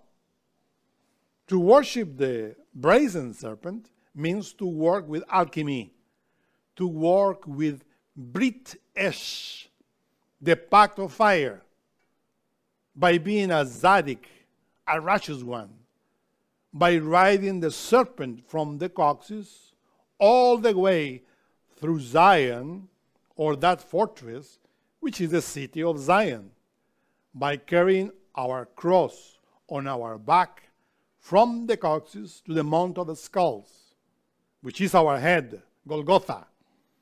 This is how we do it. Yet, in the Bible, this is written with symbols. This is how alchemists understand this. Otherwise, it is worthless.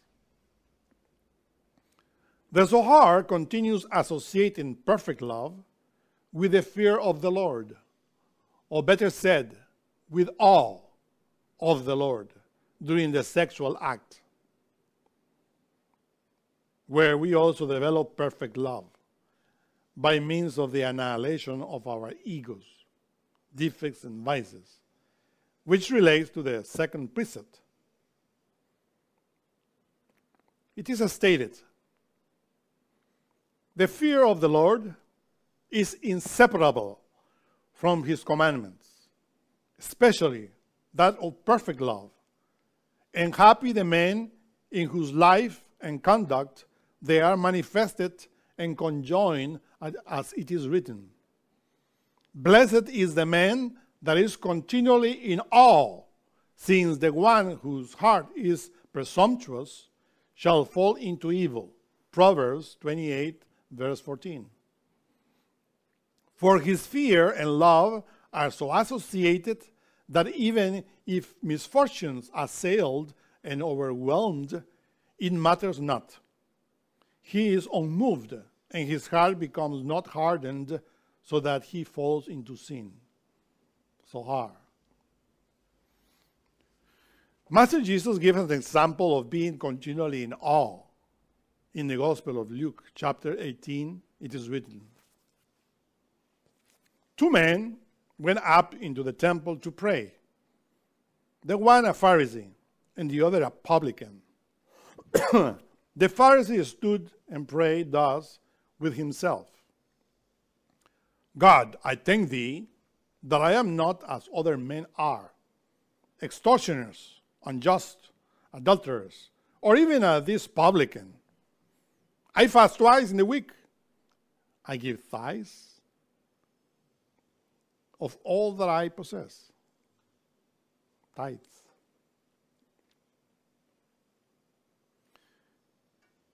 Do you see how the Pharisee is acting? This is the Pharisee ego inside of us. When we start working with these teachings and we are in chastity and we are annihilating the ego, all of a sudden we are feeling better than others. We practice meditation, we say, oh, this other person just comes here and listens to the lecture, yet does not do anything. But I do meditation, vocalization, annihilate my ego. So I am advancing. Yes, these poor people who listen to the lectures and do not do anything, they are going to hell. I feel sorry, I feel sorry for them. Yes.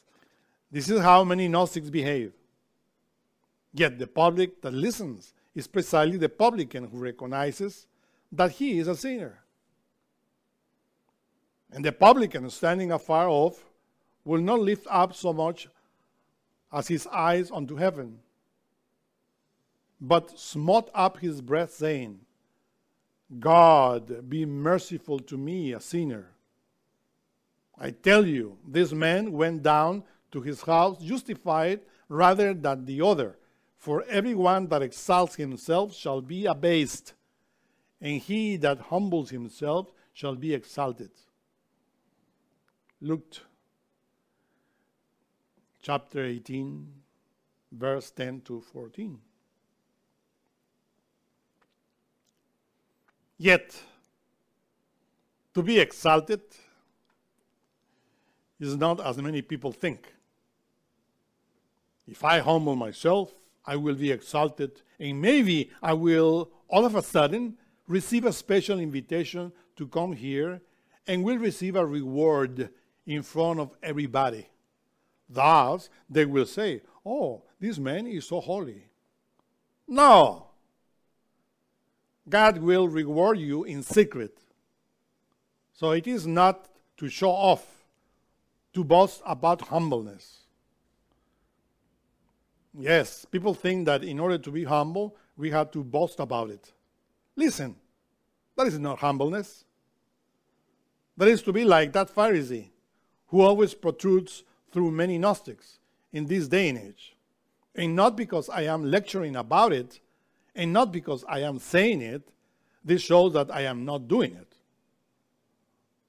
Oh, they do it but I am not doing it.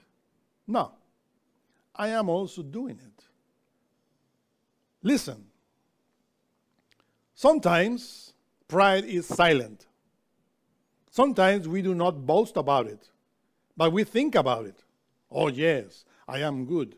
But I do not say it, because if I say it, I will show my vanity, and that is no good. So I boast about it in silence. Master Samael says the Gnostics should work on mystic pride and mystic vanity, which in us is very strong, unfortunately. Thus, if we want to develop perfect love, we have to imitate David or Perseus. David holds the head of Goliath in his left hand and his sword in his right after he decapitated him. Perseus does the same thing. He holds the head of Medusa and holds also the sword after he decapitated her. Who is Medusa? Who is Goliath? Is that evil will that we have within. The evil will that is always ready to do wrong things, but not the commandments of the Lord. We develop perfect love when we alchemically accomplish the first commandment. In the Bible, Samuel anoints, anoints uh, Saul as king of Israel. Saul is written with the letter Shin, Aleph, and Lamed. These are the same letter that spell Sheol, hell. Yet Saul is how it is translated in the Bible. So Saul means hell. Saul was the first king of Israel. Now let us talk about Saul alchemically. Saul, who was the first king of Israel, symbolizes the alchemist that reaches the fifth initiation of major mysteries, and who is therefore controlling his archetypes, his Israel inside because Israel, according to Kabbalah, relates to the heart, to Tifereth, Jacob, the Malachim. Thus, Sheol or Saul is a king filled with ego. Saul is a king, a Malachim, an angel, a master of the fifth initiation of major mysteries. But he did not kill Goliath as David did. Saul is a Sheol, hell, or better said, a Hasnamus, a Marut, with double center of gravity. In Gnosticism, we explain that all of us are Hasnamusen because we have ego and we have consciousness, two polarities. Yet, to be a Hasnamus with double center of gravity is different. This means somebody that has reached the fifth initiation of major mysteries and still has the ego alive, thus making troubles with his ego, with his Sheol, with his hell. That is why when you read the story of Saul or Sheol in the Bible, you find that he is an anointed one because he is a master, a malachim, a king. But he is not doing the right thing, and this is why God gives the kingdom to David. But who is David? David is not Sheol. The master that reaches the fifth initiation of Major Mister is still filled with problems, with klipoth, with Sheol, with hell. His egos emerge from klipoth and make mistakes because his ego is alive. So Saul is Sheol. Yet David is the one who kills Goliath.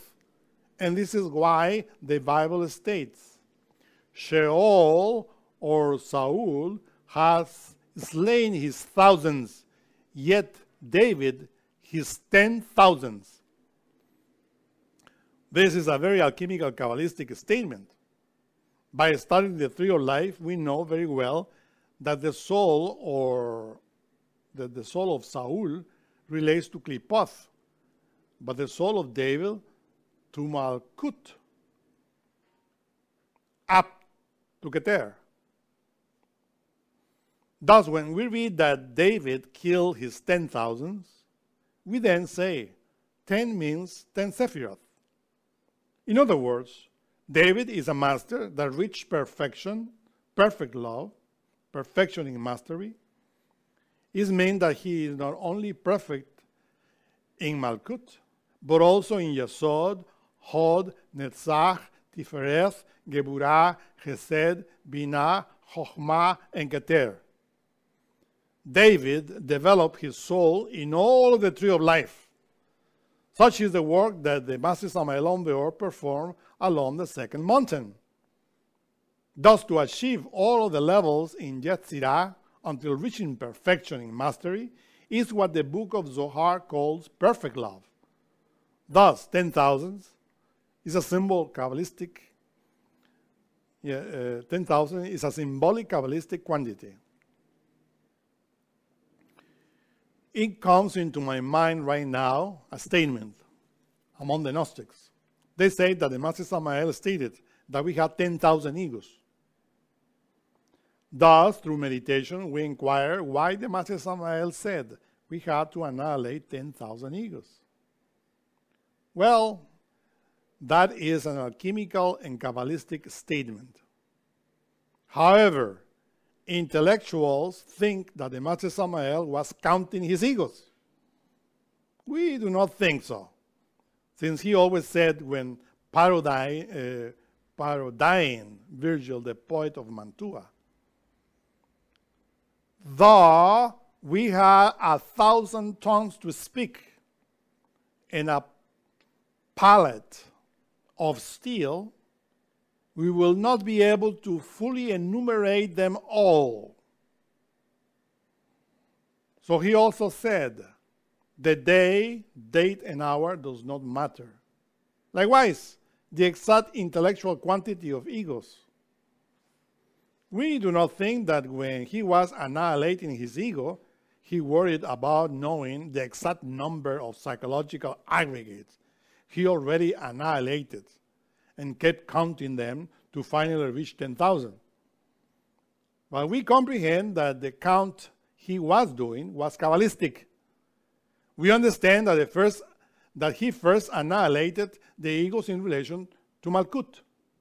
And then, as he explains in the Three Mountains, he continued with the Enneagram from Yesod until finally reaching Keter, the top of the tree of life, in the world of Yetzirah, or the world of formation, where he achieved perfection in mastery. That is to say, 10,000 Kabbalistically speaking. so please, do not say that we have to annihilate 10,000 egos, because that is ridiculous. The many egos that we have are innumerable. We know this. Understand, 10,000 means perfecting Malkut, Yesod, etc., until reaching Keter. All of this in the world of Yetzirah in order to achieve resurrection. That is what David and Perseus represent. Perseus. Sheol, Saul, has slain his thousands, and David his ten thousands. The letter that is spelled and David are Vav, Dalet, Vav, Dalet. David means boiler in Hebrew. Such a boiler is precisely Zion, the spinal column because we have to boil our creative waters with the fires of the Kundalini, the fires of Prakriti. This in order to balance the three gunas, which are perverted in any initiate that has the ego alive. David did it by means of Brit Esh, the pact of fire, by being a Zadik, a righteous one, and by cutting off the head of Goliath. Saul reached mastery because in order to reach mastery, you have to kill a lot of egos. You have to kill a lot of bestiality within in the first mountain. But the second mountain is more difficult. Saul did the first mountain, but David did the first and the second mountains. In this age, in Gnosticism, there are many masters that reach the level of Saul, Sheol, hell. They kill a thousand, but the only one who killed 10,000 is Master Samael Aun Weor, because he reached the top of the second mountain and developed perfect love. That is, perfection in mastery. Such is the meaning of 10,000. And it's not, as many people think, that every time that they meditate, they say, Today I killed one, and in another meditation, this time I killed two. They meditate again and say, Now I killed three, now five, and so on and so forth. And get anxious because they have to keep ahead since they want to reach 10,000. So the way of the fool is ludicrous. We have to study Kabbalah and alchemy in order to understand what we are doing in relation with the slaughter of the 10,000 in all of the levels of the mind. Because Aleph means thousand in Hebrew. Thus, 10,000 also means to work with the three primary forces because the letter Aleph symbolizes the spinal column or letter Vav, the firmament that divides the waters from the waters. These two waters are represented in the two letters Yod, which are above and below the transversal letter Vav that makes the shape of the letter Aleph. This letter means thousand and represents the alchemical personal work that we have to do with the two waters in the central pillar of the tree of life, the letter Vav, our spinal column, in each one of the ten Sephiroth. Thus, if we do not know alchemy and Kabbalah, then we wrongly interpret what the Master Samael said and what other masters said are some people who literally interpret what is written in the Bible and say, oh, David killed 10,000 people, and Saul only killed a thousand. Since at that time, women were dancing and singing and worshiping David because he was a bigger killer than Saul. This is commonly interpreted, a common interpretation, because people do not understand that all of this is a psychological symbol.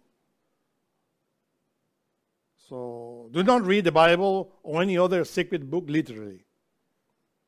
Otherwise, uh, ignoramuses might think that in order to be a great initiate, one needs to be a killer. One needs to kill people. That's ludicrous.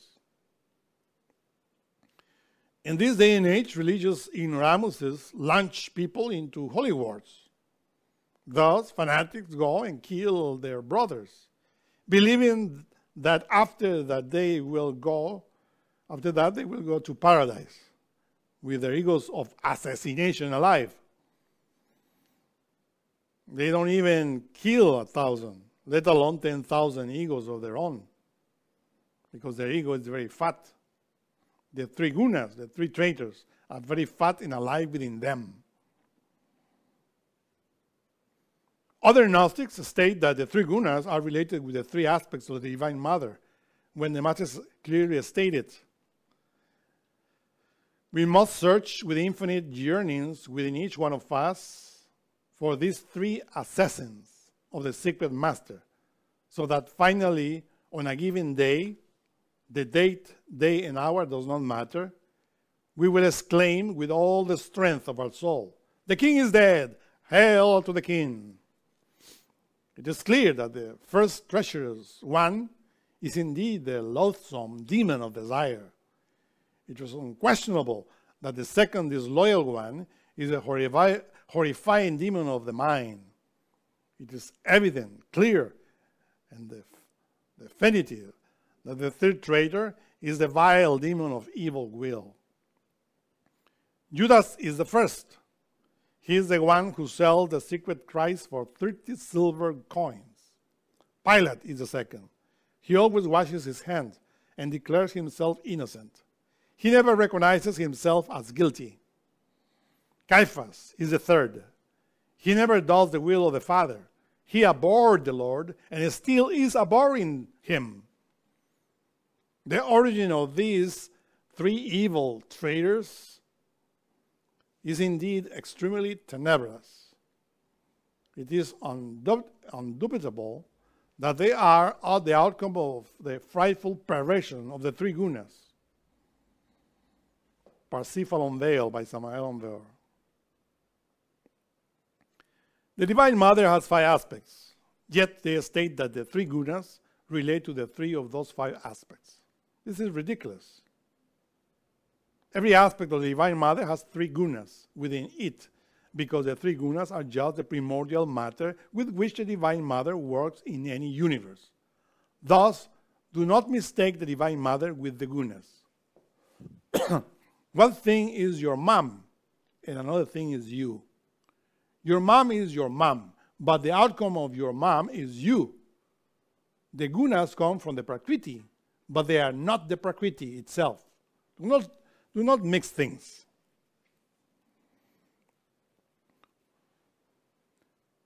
Let us see what the Master Samael says. Whosoever wants to be born again, whosoever wants to achieve final liberation, must eliminate the three gunas of the Prakriti from their nature. The one who does not eliminate the guna sattva becomes lost within the labyrinth of theories and abandon the esoteric work. The one who does not eliminate rajas fortifies the lunar ego by means of anger, covetousness, and lust. We must not forget that rajas is the very root of animal desire and the most violent passions. Rajas is the root of all concupiscence the, let, the latter is in itself the origin of every desire. The one who wants to eliminate desire must first eliminate the guna rajas. The one who does not eliminate the guna tamas will always have the consciousness asleep. He will be lazy. He will abandon the esoteric work due to slacking, inertia, laziness, lack of willpower, lack of warmth, lack of spiritual enthusiasm. He, he will be a victim of the foolish illusions of this world and he will succumb to ignorance. Samael Aun Weor. Vikritis means modification or the outcome of the three gunas. Yet, Vikritis and the three gunas are not the Divine Mother. They are the outcome of the primordial substance, Prakriti, which is the Divine Mother in any of her aspects. Now let us study the third alchemical precept. There are actually 14 precepts that we must study. Why 14? Because 14 is the letter Nun, the 14th arcanum called temperance which is the way the alchemist mixes in his firmament, his spinal medulla, the superior water with the inferior waters. When the septenary man is sexually united with a septenary woman, the sum is the 14 arcanum of the tarot, Samael Aun Weor. So the third precept teaches that the Lord of the universe is an all powerful being who is Yod and also claims his unity by the reciting of the six words of the Shema that corresponds with the sixth direction in space with a fixed intention to do his will. The word one, ehad in Hebrew, in the Shema should be equal in duration to the pronunciation of the six words. This is why Scripture says, Vav Elohim said, let the waters, Mem, under the heavens, Aleph, be gathered together into Echad, one place, and let Dalet, the dry land, appear, and it was so. What we have just read is the third alchemical precept according to the Zohar. But if you don't know, if you don't have the clue of alchemy and Kabbalah, you will not understand it. Let us unveil it in order for all of us to understand, because we are the times of the end. First, the Shema is a prayer that the Orthodox pray every day in the morning and in the night. It says, Listen, Israel, Yod is our Elohim. Yod is one. In Hebrew is written, Shema Israel, Yod Elohim, Yod Echad. This prayer has six words in Hebrew in total. The prayer proclaims the unity of God, but how do you understand such a unity? First, because the evening is the woman, and the morning is the man. And the evening and the morning was one day. But in order to make that one day, we had to unite man and woman in the sexual act. This is why the letter Het in the word Echad, Aleph, Het, Dalet,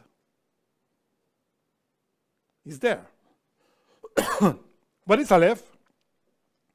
Aleph is the spinal column with the two waters, whether in the man or in the woman.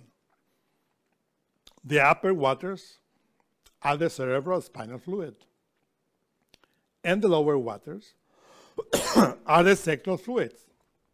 And the two are divided by the spinal column.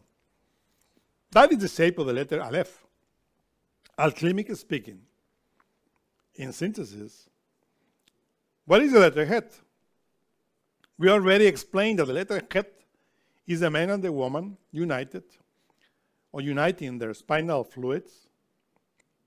In other words, men and women uniting their Vavs, the tree of lives, their spinal columns, since the letter Het means life. Do you comprehend the alchemical sexual point of this matter? Let me explain it to you.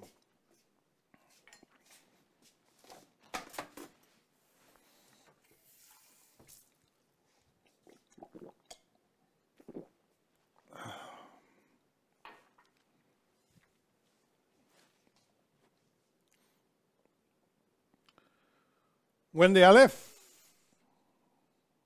of the man is united with the Aleph of the woman,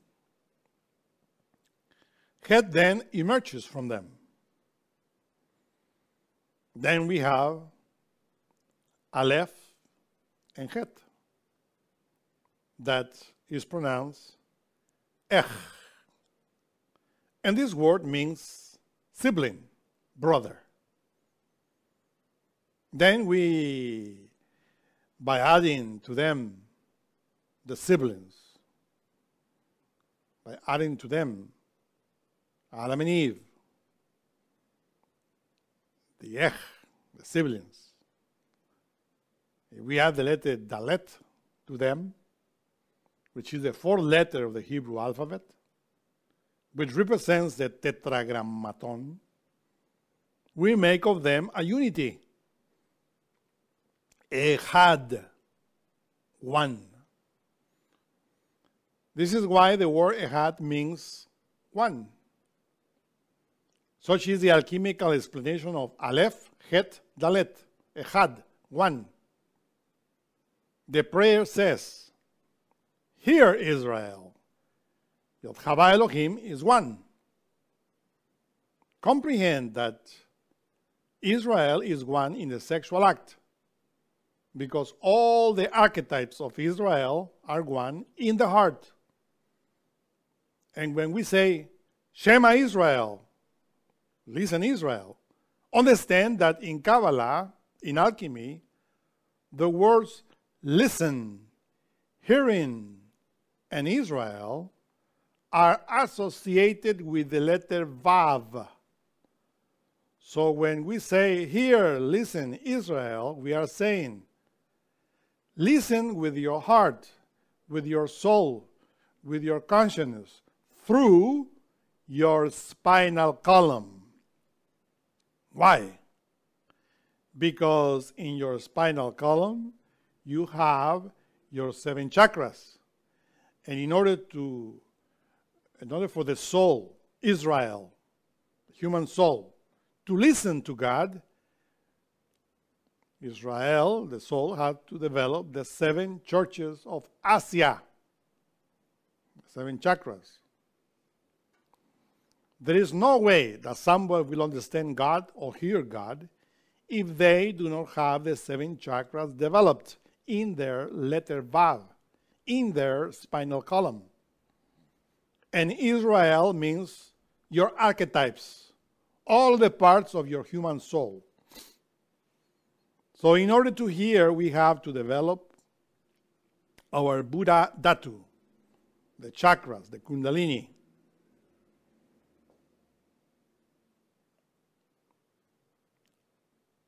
What becomes one? The sexual fluids of Ela Yam, our sea goddess the mist of Ma, Adama, become one in our heart during the sexual act, says the wife. Who becomes one? The cerebral spinal fiery fluids, Hashamaim of our God, the sea God El Chaim, the reign of me, become one in our heads during the sexual act, says the husband. The who and the what of husband and wife become one during the sexual act their Yod Hava become one. The king, along with the queen in Malkut, during the alchemical sexual copulation, while concentrated on their pineal gland, vocalize. Me. Immediately after, they concentrate on their hearts and vocalize. Ma. And while visualizing the Shakti potential of their sexual fluids rising from the bottom of their spinal towards the pineal gland and storing it within their hearts, they vocalize. Oh.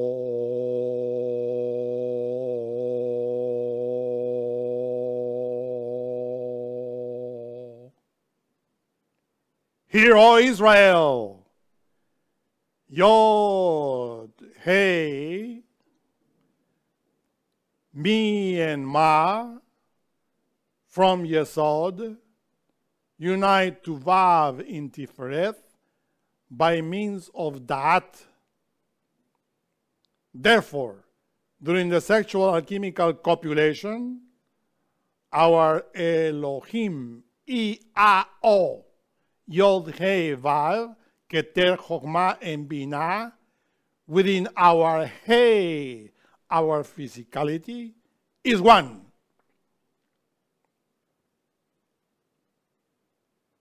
Yes, In the very sexual act, from the bottom to the top of our spinal column, there are no more gods but one. The prayer states, Yod He Vav He is one, because Yod He is Jah. When the Yod fills the gap of the letter He, then you form the letter Het that represents the two forces of Hai, Haya, the soul of Binah. The same happens with Vav of the holy name Yod He Vav He. The Vav fills the gap of the second letter He. Thus, we have two letters Het, one above and the other below. The Het below is Shaddai El Chai in Yesod, the Elohim made with Brit Esh, the pact of fire, in the lower Eden, with the sexual union of husband and wife. And the Het above is Neshamot Chaim in Da'at, the breath of the Elohim above in the upper Eden, formed with the union of two Akashic breaths, Ava and Aima Elohim. Ava and Aima united in that, the throat, the upper Eden, and husband and wife united in the sexual act in Yesod, the lower Eden, are Yod He Vav He, the lower Elohim below and the upper Elohim above. And all of this forms a unity in the alchemical sexual copulation. This is the reason why the scripture says, the Vav, the spinal column, the serpent of the upper Elohim said in the sexual union, Let the sexual waters of Mem under the heavens of Aleph be gathered together in Yesod, the lower Het of Ehad, one place. And let Dalet, the dry land, appear, and it was so. The waters under the heavens are united in the sexual act. Who and what are the waters under the heavens? What are these? Our cerebral spinal fluid and the semen are the waters under the heavens. We are in Malkut, and we are under the heavens, because the heavens of Yetzirah, the heavens of Bria, the heavens of Atziluth are above Malkut. And our physicality is Malkut. So the waters under the heavens are gathered together into one place when we perform the alchemical sexual copulation. This is how we gather Hamaim, the waters of our cerebral spinal fluid and our sexual fluid in the alchemical sexual copulation of husband and wife. Who, when alchemically physically united, form the lower letter Het. Chai, life. This is how we unite the waters under the heavens into one place. What is that place? That place is the spinal medulla, the pole upon which we uh, lift the serpent of brass when we transmute our sexual energy, when we unite the Shakti potential of our sexual waters. This is how we lift the serpent of brass upon our spinal column. So the spinal medulla is the one place where the waters are gathered together. And let the dry land appear. What is the dry land that appears? The dry land that appears is that knowledge in the solar bodies. Because from thence, from that, the upper Eden flows down. Vav, the river, which in Hebrew is Nacher or Nachera, light, brightness, prana, the Shakti potential of Elohim. And the river parted and come into four heads, the four points of the letter Dalet, the four rivers of the lower Eden. The name of the first is Pison, that is which encompasses the whole land of Havilah, where there is gold, and the gold of that land is good. There is bdellium and onyx stone. The land of Havilah is our dry land, physical body. And the goal of this land is the solar atoms from our seminal, seminal system. That is to say, the semen's potable gold. And the name of the second river is Gihon. The same is it that encompasses the whole land of Ethiopia. This second river is a cerebrospinal fluid, which is the other pole of our seminal system. With it, we encompass the whole land of Ethiopia. That is to say, the whole of our head and throat, since we form the brain and throat with the cerebrospinal fluid. And the name of the third river is Hiddekel. That is it which goes toward the east of Assyria. And the fourth river is Euphrates. The river that goes toward the east of Assyria and the river Euphrates are the two poles of the woman's seminal system. Therefore, the woman is toward the east of men, because woman is the door of paradise, and this door is always towards the east. Samael Weor. The letter Dalet is the fourth letter of the Hebrew alphabet. Dalet points to the four rivers which are under the heavens. When the Shakti potential, the spirit of their waters, gathers together in the spinal medulla, then the dry land appears. This dry land also represents the solar bodies. So when husband and wife, through sexual alchemy, know how to gather all of these solar forces together inside of them, they are then born again of the water of the Spirit. Genesis Chapter 1, verse 9 means that the waters of the rivers running into the ocean of marrow, which is your head, may testify of the unity of the six directions. Stress should be laid also upon the letter Dalet in the word Echad, that means one. The numerical of it being equal to four and indicating the four directions of the rivers. For this reason, this letter in the word Echad, one, occurring in this verse, is always written larger than the other letters.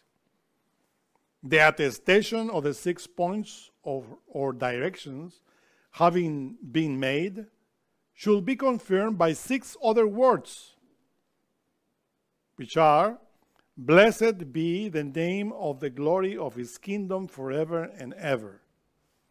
The Zohar. Now, the first prayer above Hear, O Israel, Yahweh is our Elohim. Yahweh is one, has six words. And the second prayer below, Blessed be the glory of his kingdom forever and ever, also has six Hebrew words. six above and six below. What do these two prayers symbolize? They symbolize the unity. Six above represents the six Sephiroth that form the true man, the inner man, namely Chesed, Geburah, Tiferet, Netzach, Hod, and Yesod. These six Sephiroth are represented by the six masculine protruding points of the six pointed star. Malkut, which is a feminine sephira, represents the physicality that receives, captures the six attributes of the true man, the inner man. Malkut also represents Eve, who receives, captures the six attributes of Adam. The female is always receptive. Thus, the six below are represented by the six feminine entrances, the six feminine openings of the six pointed star that received the six masculine protruding points of the six pointed star.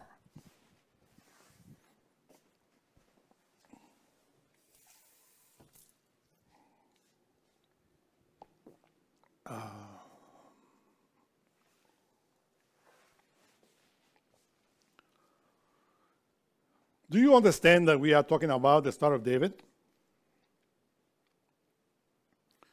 When we count, uh, when we count the six masculine protruding points plus the six feminine entrances or openings, symbols of man and woman, in the Star of David, we then have 12 vortices. That is why the Master Samael Aun Weor stated that the Star of David has 12 points, not six. This is why Jacob, Israel, Tiferet, the son, engendered through Vav the river Nachra, Nachra, light, brightness, prana, 12 tribes, 12 children, 12 archetypes in Malkut. These 12 archetypes are the offspring of the four rivers in Malkut represented by the four women of Jacob. Better said, the 12 tribes of Israel are the offspring of the sun through the four rivers of Eden. These four rivers represent the creative sexual waters of, of husband and wife in the alchemical sexual copulation. This is Kabbalistic alchemy, when you know how to interpret when you know how to read. Otherwise, you fall into mistakes. The Zohar states In recognizing this sexual unity of these rivers of Eden, symbolized by the letter Dalet, Adam walks on dry land. That Prakriti brings forth as archetypes trees and fruits.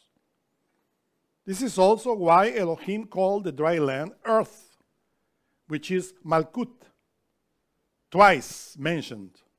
Land and earth being one and the same. The Zohar. Prakriti is the primordial land, earth, Adamah, ground, because in Hebrew the word Adamah means also earth. Above and below, this is how you see it alchemically.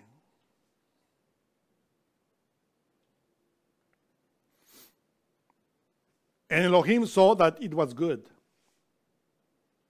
symbolizing the unity above and the unity below. When this took place, the earth, the Prakriti, was able to bring forth fruits and flowers. Thus, by means of this sexual alchemical work, we become in awe of the Lord. And we also develop perfect love within. And by the union of the solar light extracted from the four rivers of Eden, between husband and wife, the dry land appears, which are the astral, mental, and causal bodies. Then our inner Elohim will say, I see this is good. Because then your astral, mental, and causal solar bodies operate as one unity within you, thanks to Vav, the spinal column, the serpent of brass that rises in the spinal medulla, because through that, to that womb, the spinal medulla, is how she creates. The Vav, the serpent of the upper Elohim, said, Let the sexual waters under the heavens be collected into one place, so that Vav, the dry land, appears. Vav was so. As we see, everything happens in our spinal column. The three and a half coils of the serpent are symbolized in Mexico by Quetzalcoatl, who in the beginning emerges from the mouth of a serpent. The half coil is represented by the face of a man being born from the serpent, and a man who, who latter must be swallowed by the same serpent. Do you see? There are many interpretations of this symbol, yet, in my understanding, this is simple. When the three coils, which represent the three gunas, awake harmoniously within, then the half coil, the true man, appears. The man is engendered within our spinal column. Thus, it is the serpent that gives birth. This is why in Gnosticism we say, all the gods are children of Nut, the Divine Mother, Nut is Prakriti. She represents the serpent that rises, the brazen serpent that was healing the Israelites in the wilderness. The serpent that rises in the spinal column and gives birth, beginning with the astral body. This is why you see that the face of Quetzalcoatl protruding from the serpent's mouth. Quetzalcoatl represents the astral body, the very beginning of birth, spiritual birth. Nobody can be born again if he does not lift up the serpent of brass, as Moses did it in the wilderness. Because to lift the brazen serpent is same as to lift up the Son of Man, the son of our sexual waters. This serpentine force is called Kundalini in Sanskrit the Christic force that rises in our spinal column. And that builds the city of Zion, our fortress, which is our spinal column. When we are righteous, tzaddik, when we work with the nun. This is how Vav, the dry land, appears. Because really, every single body that we create is the offspring of the serpent, beginning with our physical body.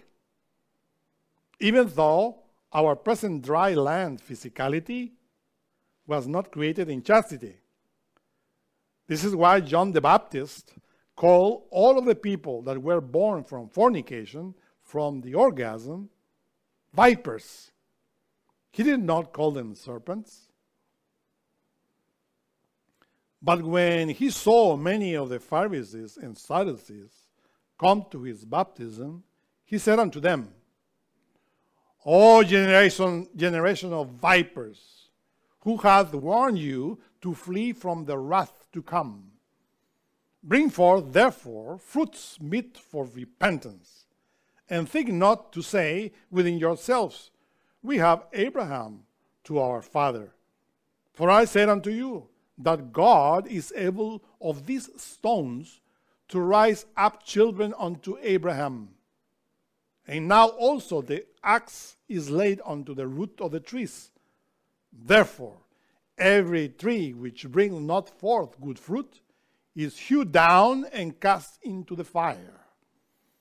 Matthew chapter 3, 7 to 10.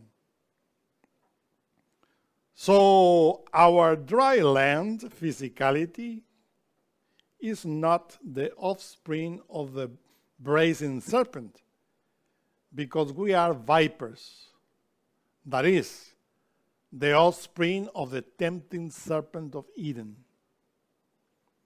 Yet, through the sexual work of alchemy, we will become children of the brazen serpent and will be called plumed serpents, feathered serpents, or serpents of brass, like Moses, because we develop Prakriti, the Divine Mother Shekinah, inside of us, which is Adamah. From the dust of Adamah, the earth, Jehovah Elohim formed Adam. Thus, this is also symbolized in the Aztec pantheon by gathering all the waters of the seas of Yesod, and this is what we call good sexual alchemical work. Thank you very much. Your question, you ask uh, uh, have trouble understanding what the Vikritis is. Let me tell you, whatever we do with the three gunas is Vikritis, because the three gunas are the basic elements within the bosom of the Divine Mother, the Prakriti, and they are granted unto us because we have to learn to be Elohim. Whatever we do with the three gunas is Vikritis. Yes? Or you ask, related to the explanation of the four punishments from the Zohar that associate them with the earth formless and void, darkness upon the abyss, and the spirit of Elohim hovering upon the face of the waters. That you have trouble understanding how strangulation and stoning and decapitation, etc., relate to it. Well, okay. It is a good question and simple to answer if we know Kabbalah and alchemy. To begin, concentrate your mind on your spinal column, your brain, and your spinal medulla that float in the cerebral spinal fluid, and on your stones, which is Yesod. Because in those waters is where the Spirit of God hovers. Those are the waters. Thus, when you are not a fornicator, when you, when you are in chastity, God shines as light in there. That light is the flame of the sword that rises in the spinal column to the brain. That is the flaming sword, which is light, which is the same spirit, because that spirit is the divine mother and is also Christ. Christ is born from the divine mother and is also related to the throne of your innermost. That is the sword that you receive when you are in chastity. The power of that sword is the word that is expressed through the tongue of your mouth. The tongue is the tip of that sword. Thus, if you have that light in your spinal column, that means that you or your vav, your spinal medulla, is enlightened with the seven chakras. Thus, you can hear the words of your inner God very clearly and write and understand what other masters wrote in different books because they also heard the voice of their inner God and they wrote that inner God, what their inner God commanded to them. So obviously, right now, we are tohu vevohu, formless, formless and void. So that is what we are now. But uh, we were in the anim- when we were in the animal kingdom, in the plant kingdom, and mineral kingdom, that light was shining in our spinal column because the spinal column of the elementals of minerals, plants, and animals are always enlightened because they are innocent. But when the elementals enter into the hum humanoid level and fornicate, when they do not do Bereshith Bera Elohim, or better said, Brit Esh Bera Elohim, they then expel the Elohim within because they fornicate. We, the intellectual animals, fornicate. Therefore, we do not follow the first commandment. And that is what the book of Zohar states regarding Bereshith Ber Elohim. We killed, we expelled the Elohim within because we continue being animals. Thus, when we were in chastity, all the light of the spinal medulla, all of the light of our sword was going into our heart. In our heart had superlative intuition, which understood God, the highest. But when we fornicated, strangulation happened, meaning that the light no longer went into the brain. We are self strangled because when one strangles another person, one prevents the flow of the blood from entering into the brain, and also the breath of God from entering the lungs. Thus, the circuit of breathing stops when someone is strangled. Thus, fornication is strangulation too. Because when we fornicate, we strangle ourselves we become formless and void, empty of life, since your stones are sending your life down, and therefore the light that before was rising up is now going down, and you remain in darkness. Thus, the spirit that is the yod in your pineal gland, that was hovering upon the waters, withdraws from your head Thus, you suffer decapitation because you fall headlong into the abyss.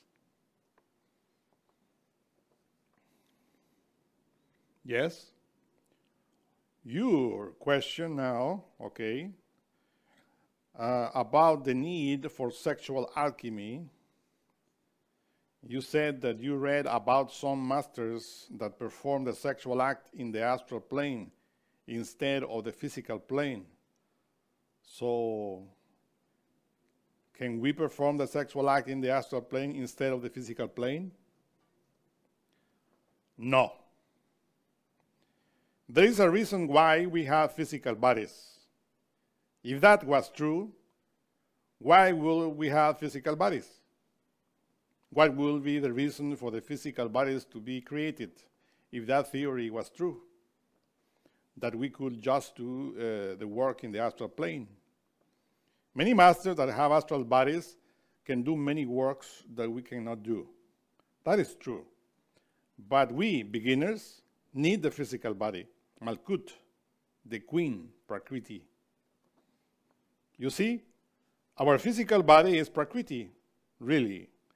But because we do not respect the Divine Mother, our three gunas are in turmoil. They are the three brains, the three traitors, through them, we only create bad things, and because of those vikritis, we cannot control the gunas. But the Divine Mother helps us. This is why the Buddha is seated under the Bodhi tree, controlling the three gunas. And this is why a serpent is behind, holding him, floating upon the waters. That serpent is the Divine Mother. The same happens with Moses in the wilderness. He is teaching the people to worship the serpent of brass, which is the Divine Mother, because the people are being punished and suffering because of the passionate serpents that come from above, because they have the ego alive. So Moses taught them how to worship the serpent, which is precisely the development of the fires of the spine in Zion by being a. And in that way, we enter into the path in the physical world because we begin from the bottom. If you have the astral body, then you will know what to do with the astral body. But if you don't have the astral solar body, but rather the body of desires named Kamarupa, the lunar astral body, then what are you practicing in the astral plane? So tell me about your dreams. What kind of dreams do you have? Wet dreams? Thus, if what you experience in the astral world is wet dreams, indeed, uh, those dreams are not related with mastery, but in relation to the perverted guna rajas that we have to control, and only the Divine Mother can help us to do it. This, in order to escape from Klipot, the vowels of Malkut, the shadow of the tree of life. Because the inferior astral plane, Hod, relate to Lilith, the abode of the fornicators. So those who physically or astrally reach the orgasm during sexual copulation have no part in the tree of life, which is Israel, especially the middle pillar. So their place is in Klipoth, deep down inside the bowels of Malkut, and not beyond. Indeed, because the fornicator intellectual beasts of the earth draw out their spirit from within their spines. This is why Hod, the astral body, is the first body that we have to create. And only the Divine Mother can help us from the very foundation of the tree of life. Thus, we first have to annihilate the egos from the bowels of Malkut, and she will help us to do it. We have to balance the gunas in the physical body and in every body of Zeir Anpin till reaching 49 levels.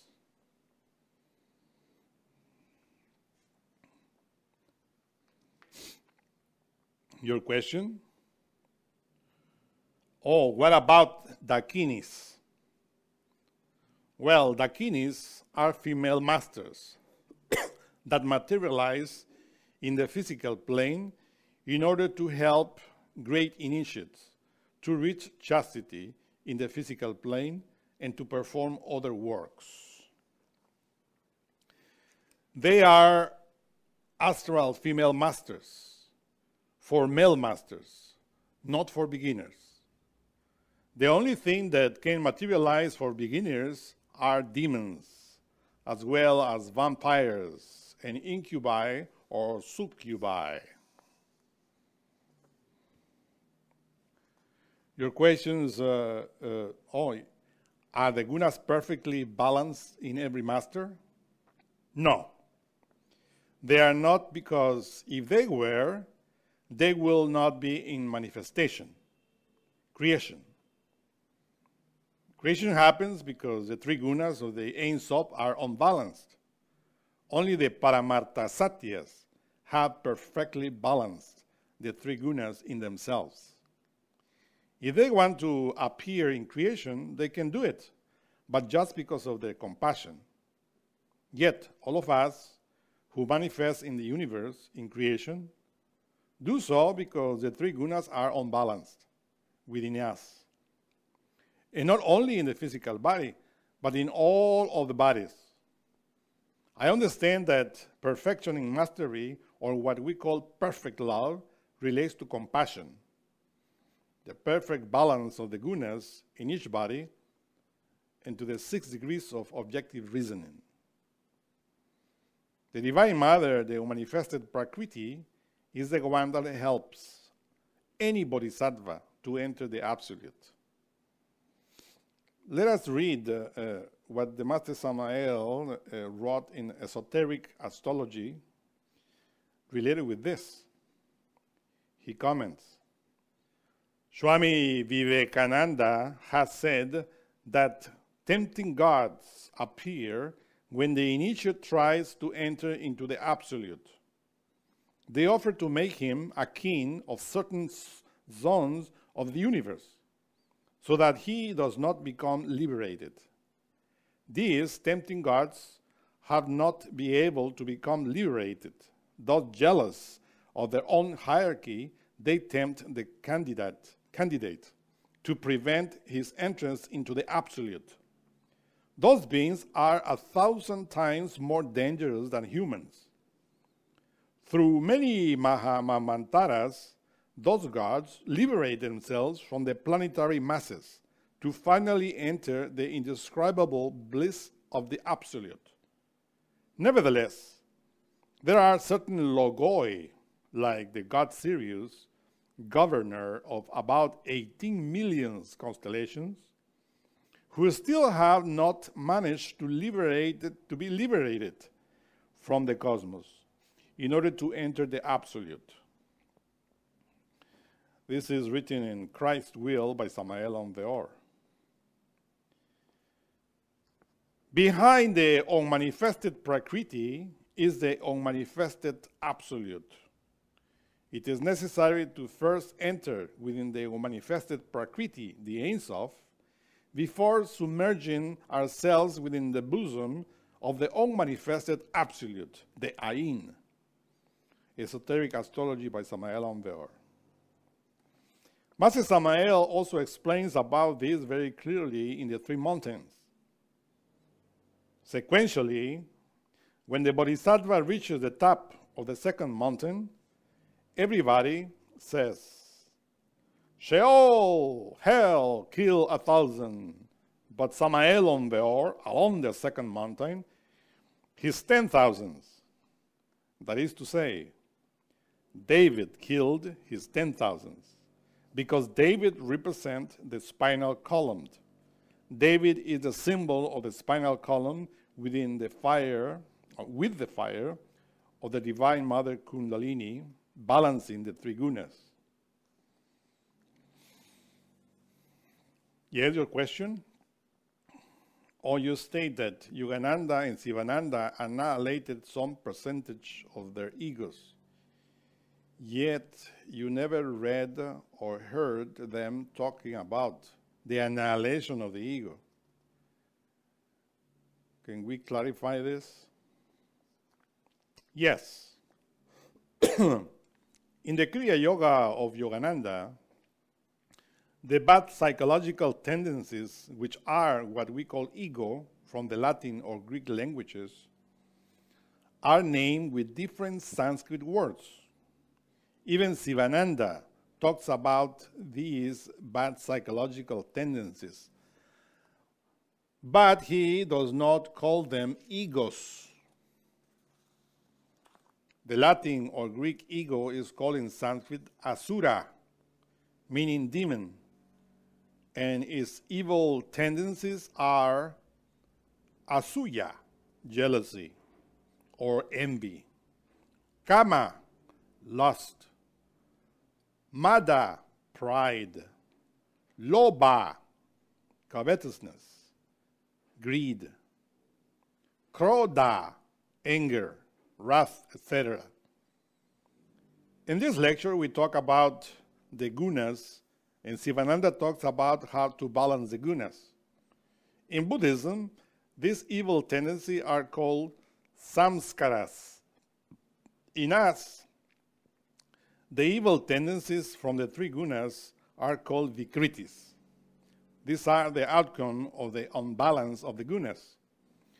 Yogananda eliminated these evil tendencies on a certain level. Because in order to destroy the 10,000 evil tendencies as David or Samael Aun Weor did, we first have to reach mastery. We have to awaken the consciousness. First, That is, we had to annihilate our 1,000, which is the level of Shaul or Saul. Once we annihilate uh, 1,000, then we keep ahead, and along the world of Yetzirah, like David, we annihilate our 10,000.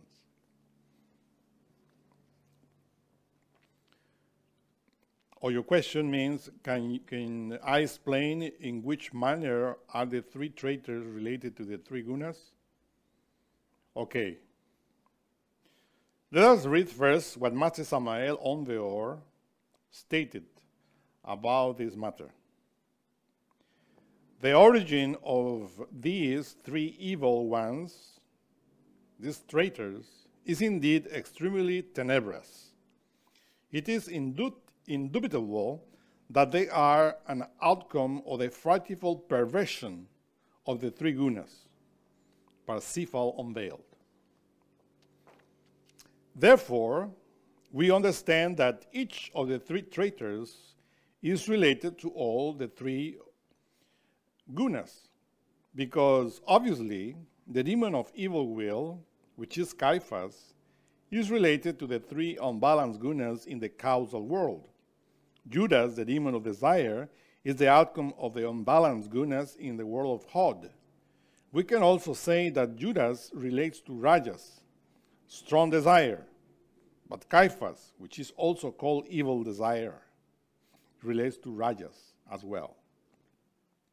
Pilate, which is a demon of the mind, is also associated with desire, but in the mind, Netzach. But when we talk about the gunas, we can also say sattva, which is knowledge, wisdom, is in the head. Rajas, desire, is in relation to the heart, with the emotional brain. And tamas, inertia, doing nothing, laziness, sleep, relates to the motor brain. Yet the gunas have many subdivisions that we know and learn when we advance on the path. Otherwise, we will just uh, utter intellectual concepts. Like many Gnostics who still think that they had to literally annihilate 10,000 egos because they do not understand Kabbalah and alchemy. Yes, they literally think that they have exactly 10,000 egos to annihilate. That in Kabbalah is called limited stupidity.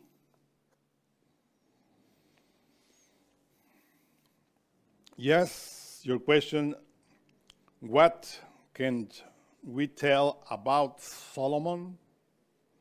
Is he related to the third mountain? Shaloma, ah. Solomon, is related to the last work that the initiate does on top of the second mountain, which is when the initiate is transmuting his mercurial bodies into pure gold after having annihilated his 10,000 egos. The initiate enters as Solomon into the third mountain, which is something very high, only for gods. But do not worry about that right now. Yes, your question is what does the Bodhisattva mean? The bodhisattva is bodhi and sattva, wisdom and knowledge. Your question? Was William Blake a great initiate? Well, I personally like William Blake's paintings to illustrate my lectures because, in my opinion, they very well suit some Kabbalistic statements, but not only his paintings. Obviously, William Blake was an initiate, because when you see his drawings, it is pretty obvious that he knew what he was doing. Yet, at his time, it was not permitted to publicly and clearly talk about esotericism. So when I see his work, it is obvious for me that he knew about esotericism. What level of mastery he achieved? That I do not know. What I indeed know is that I like his drawings. Thank you very much.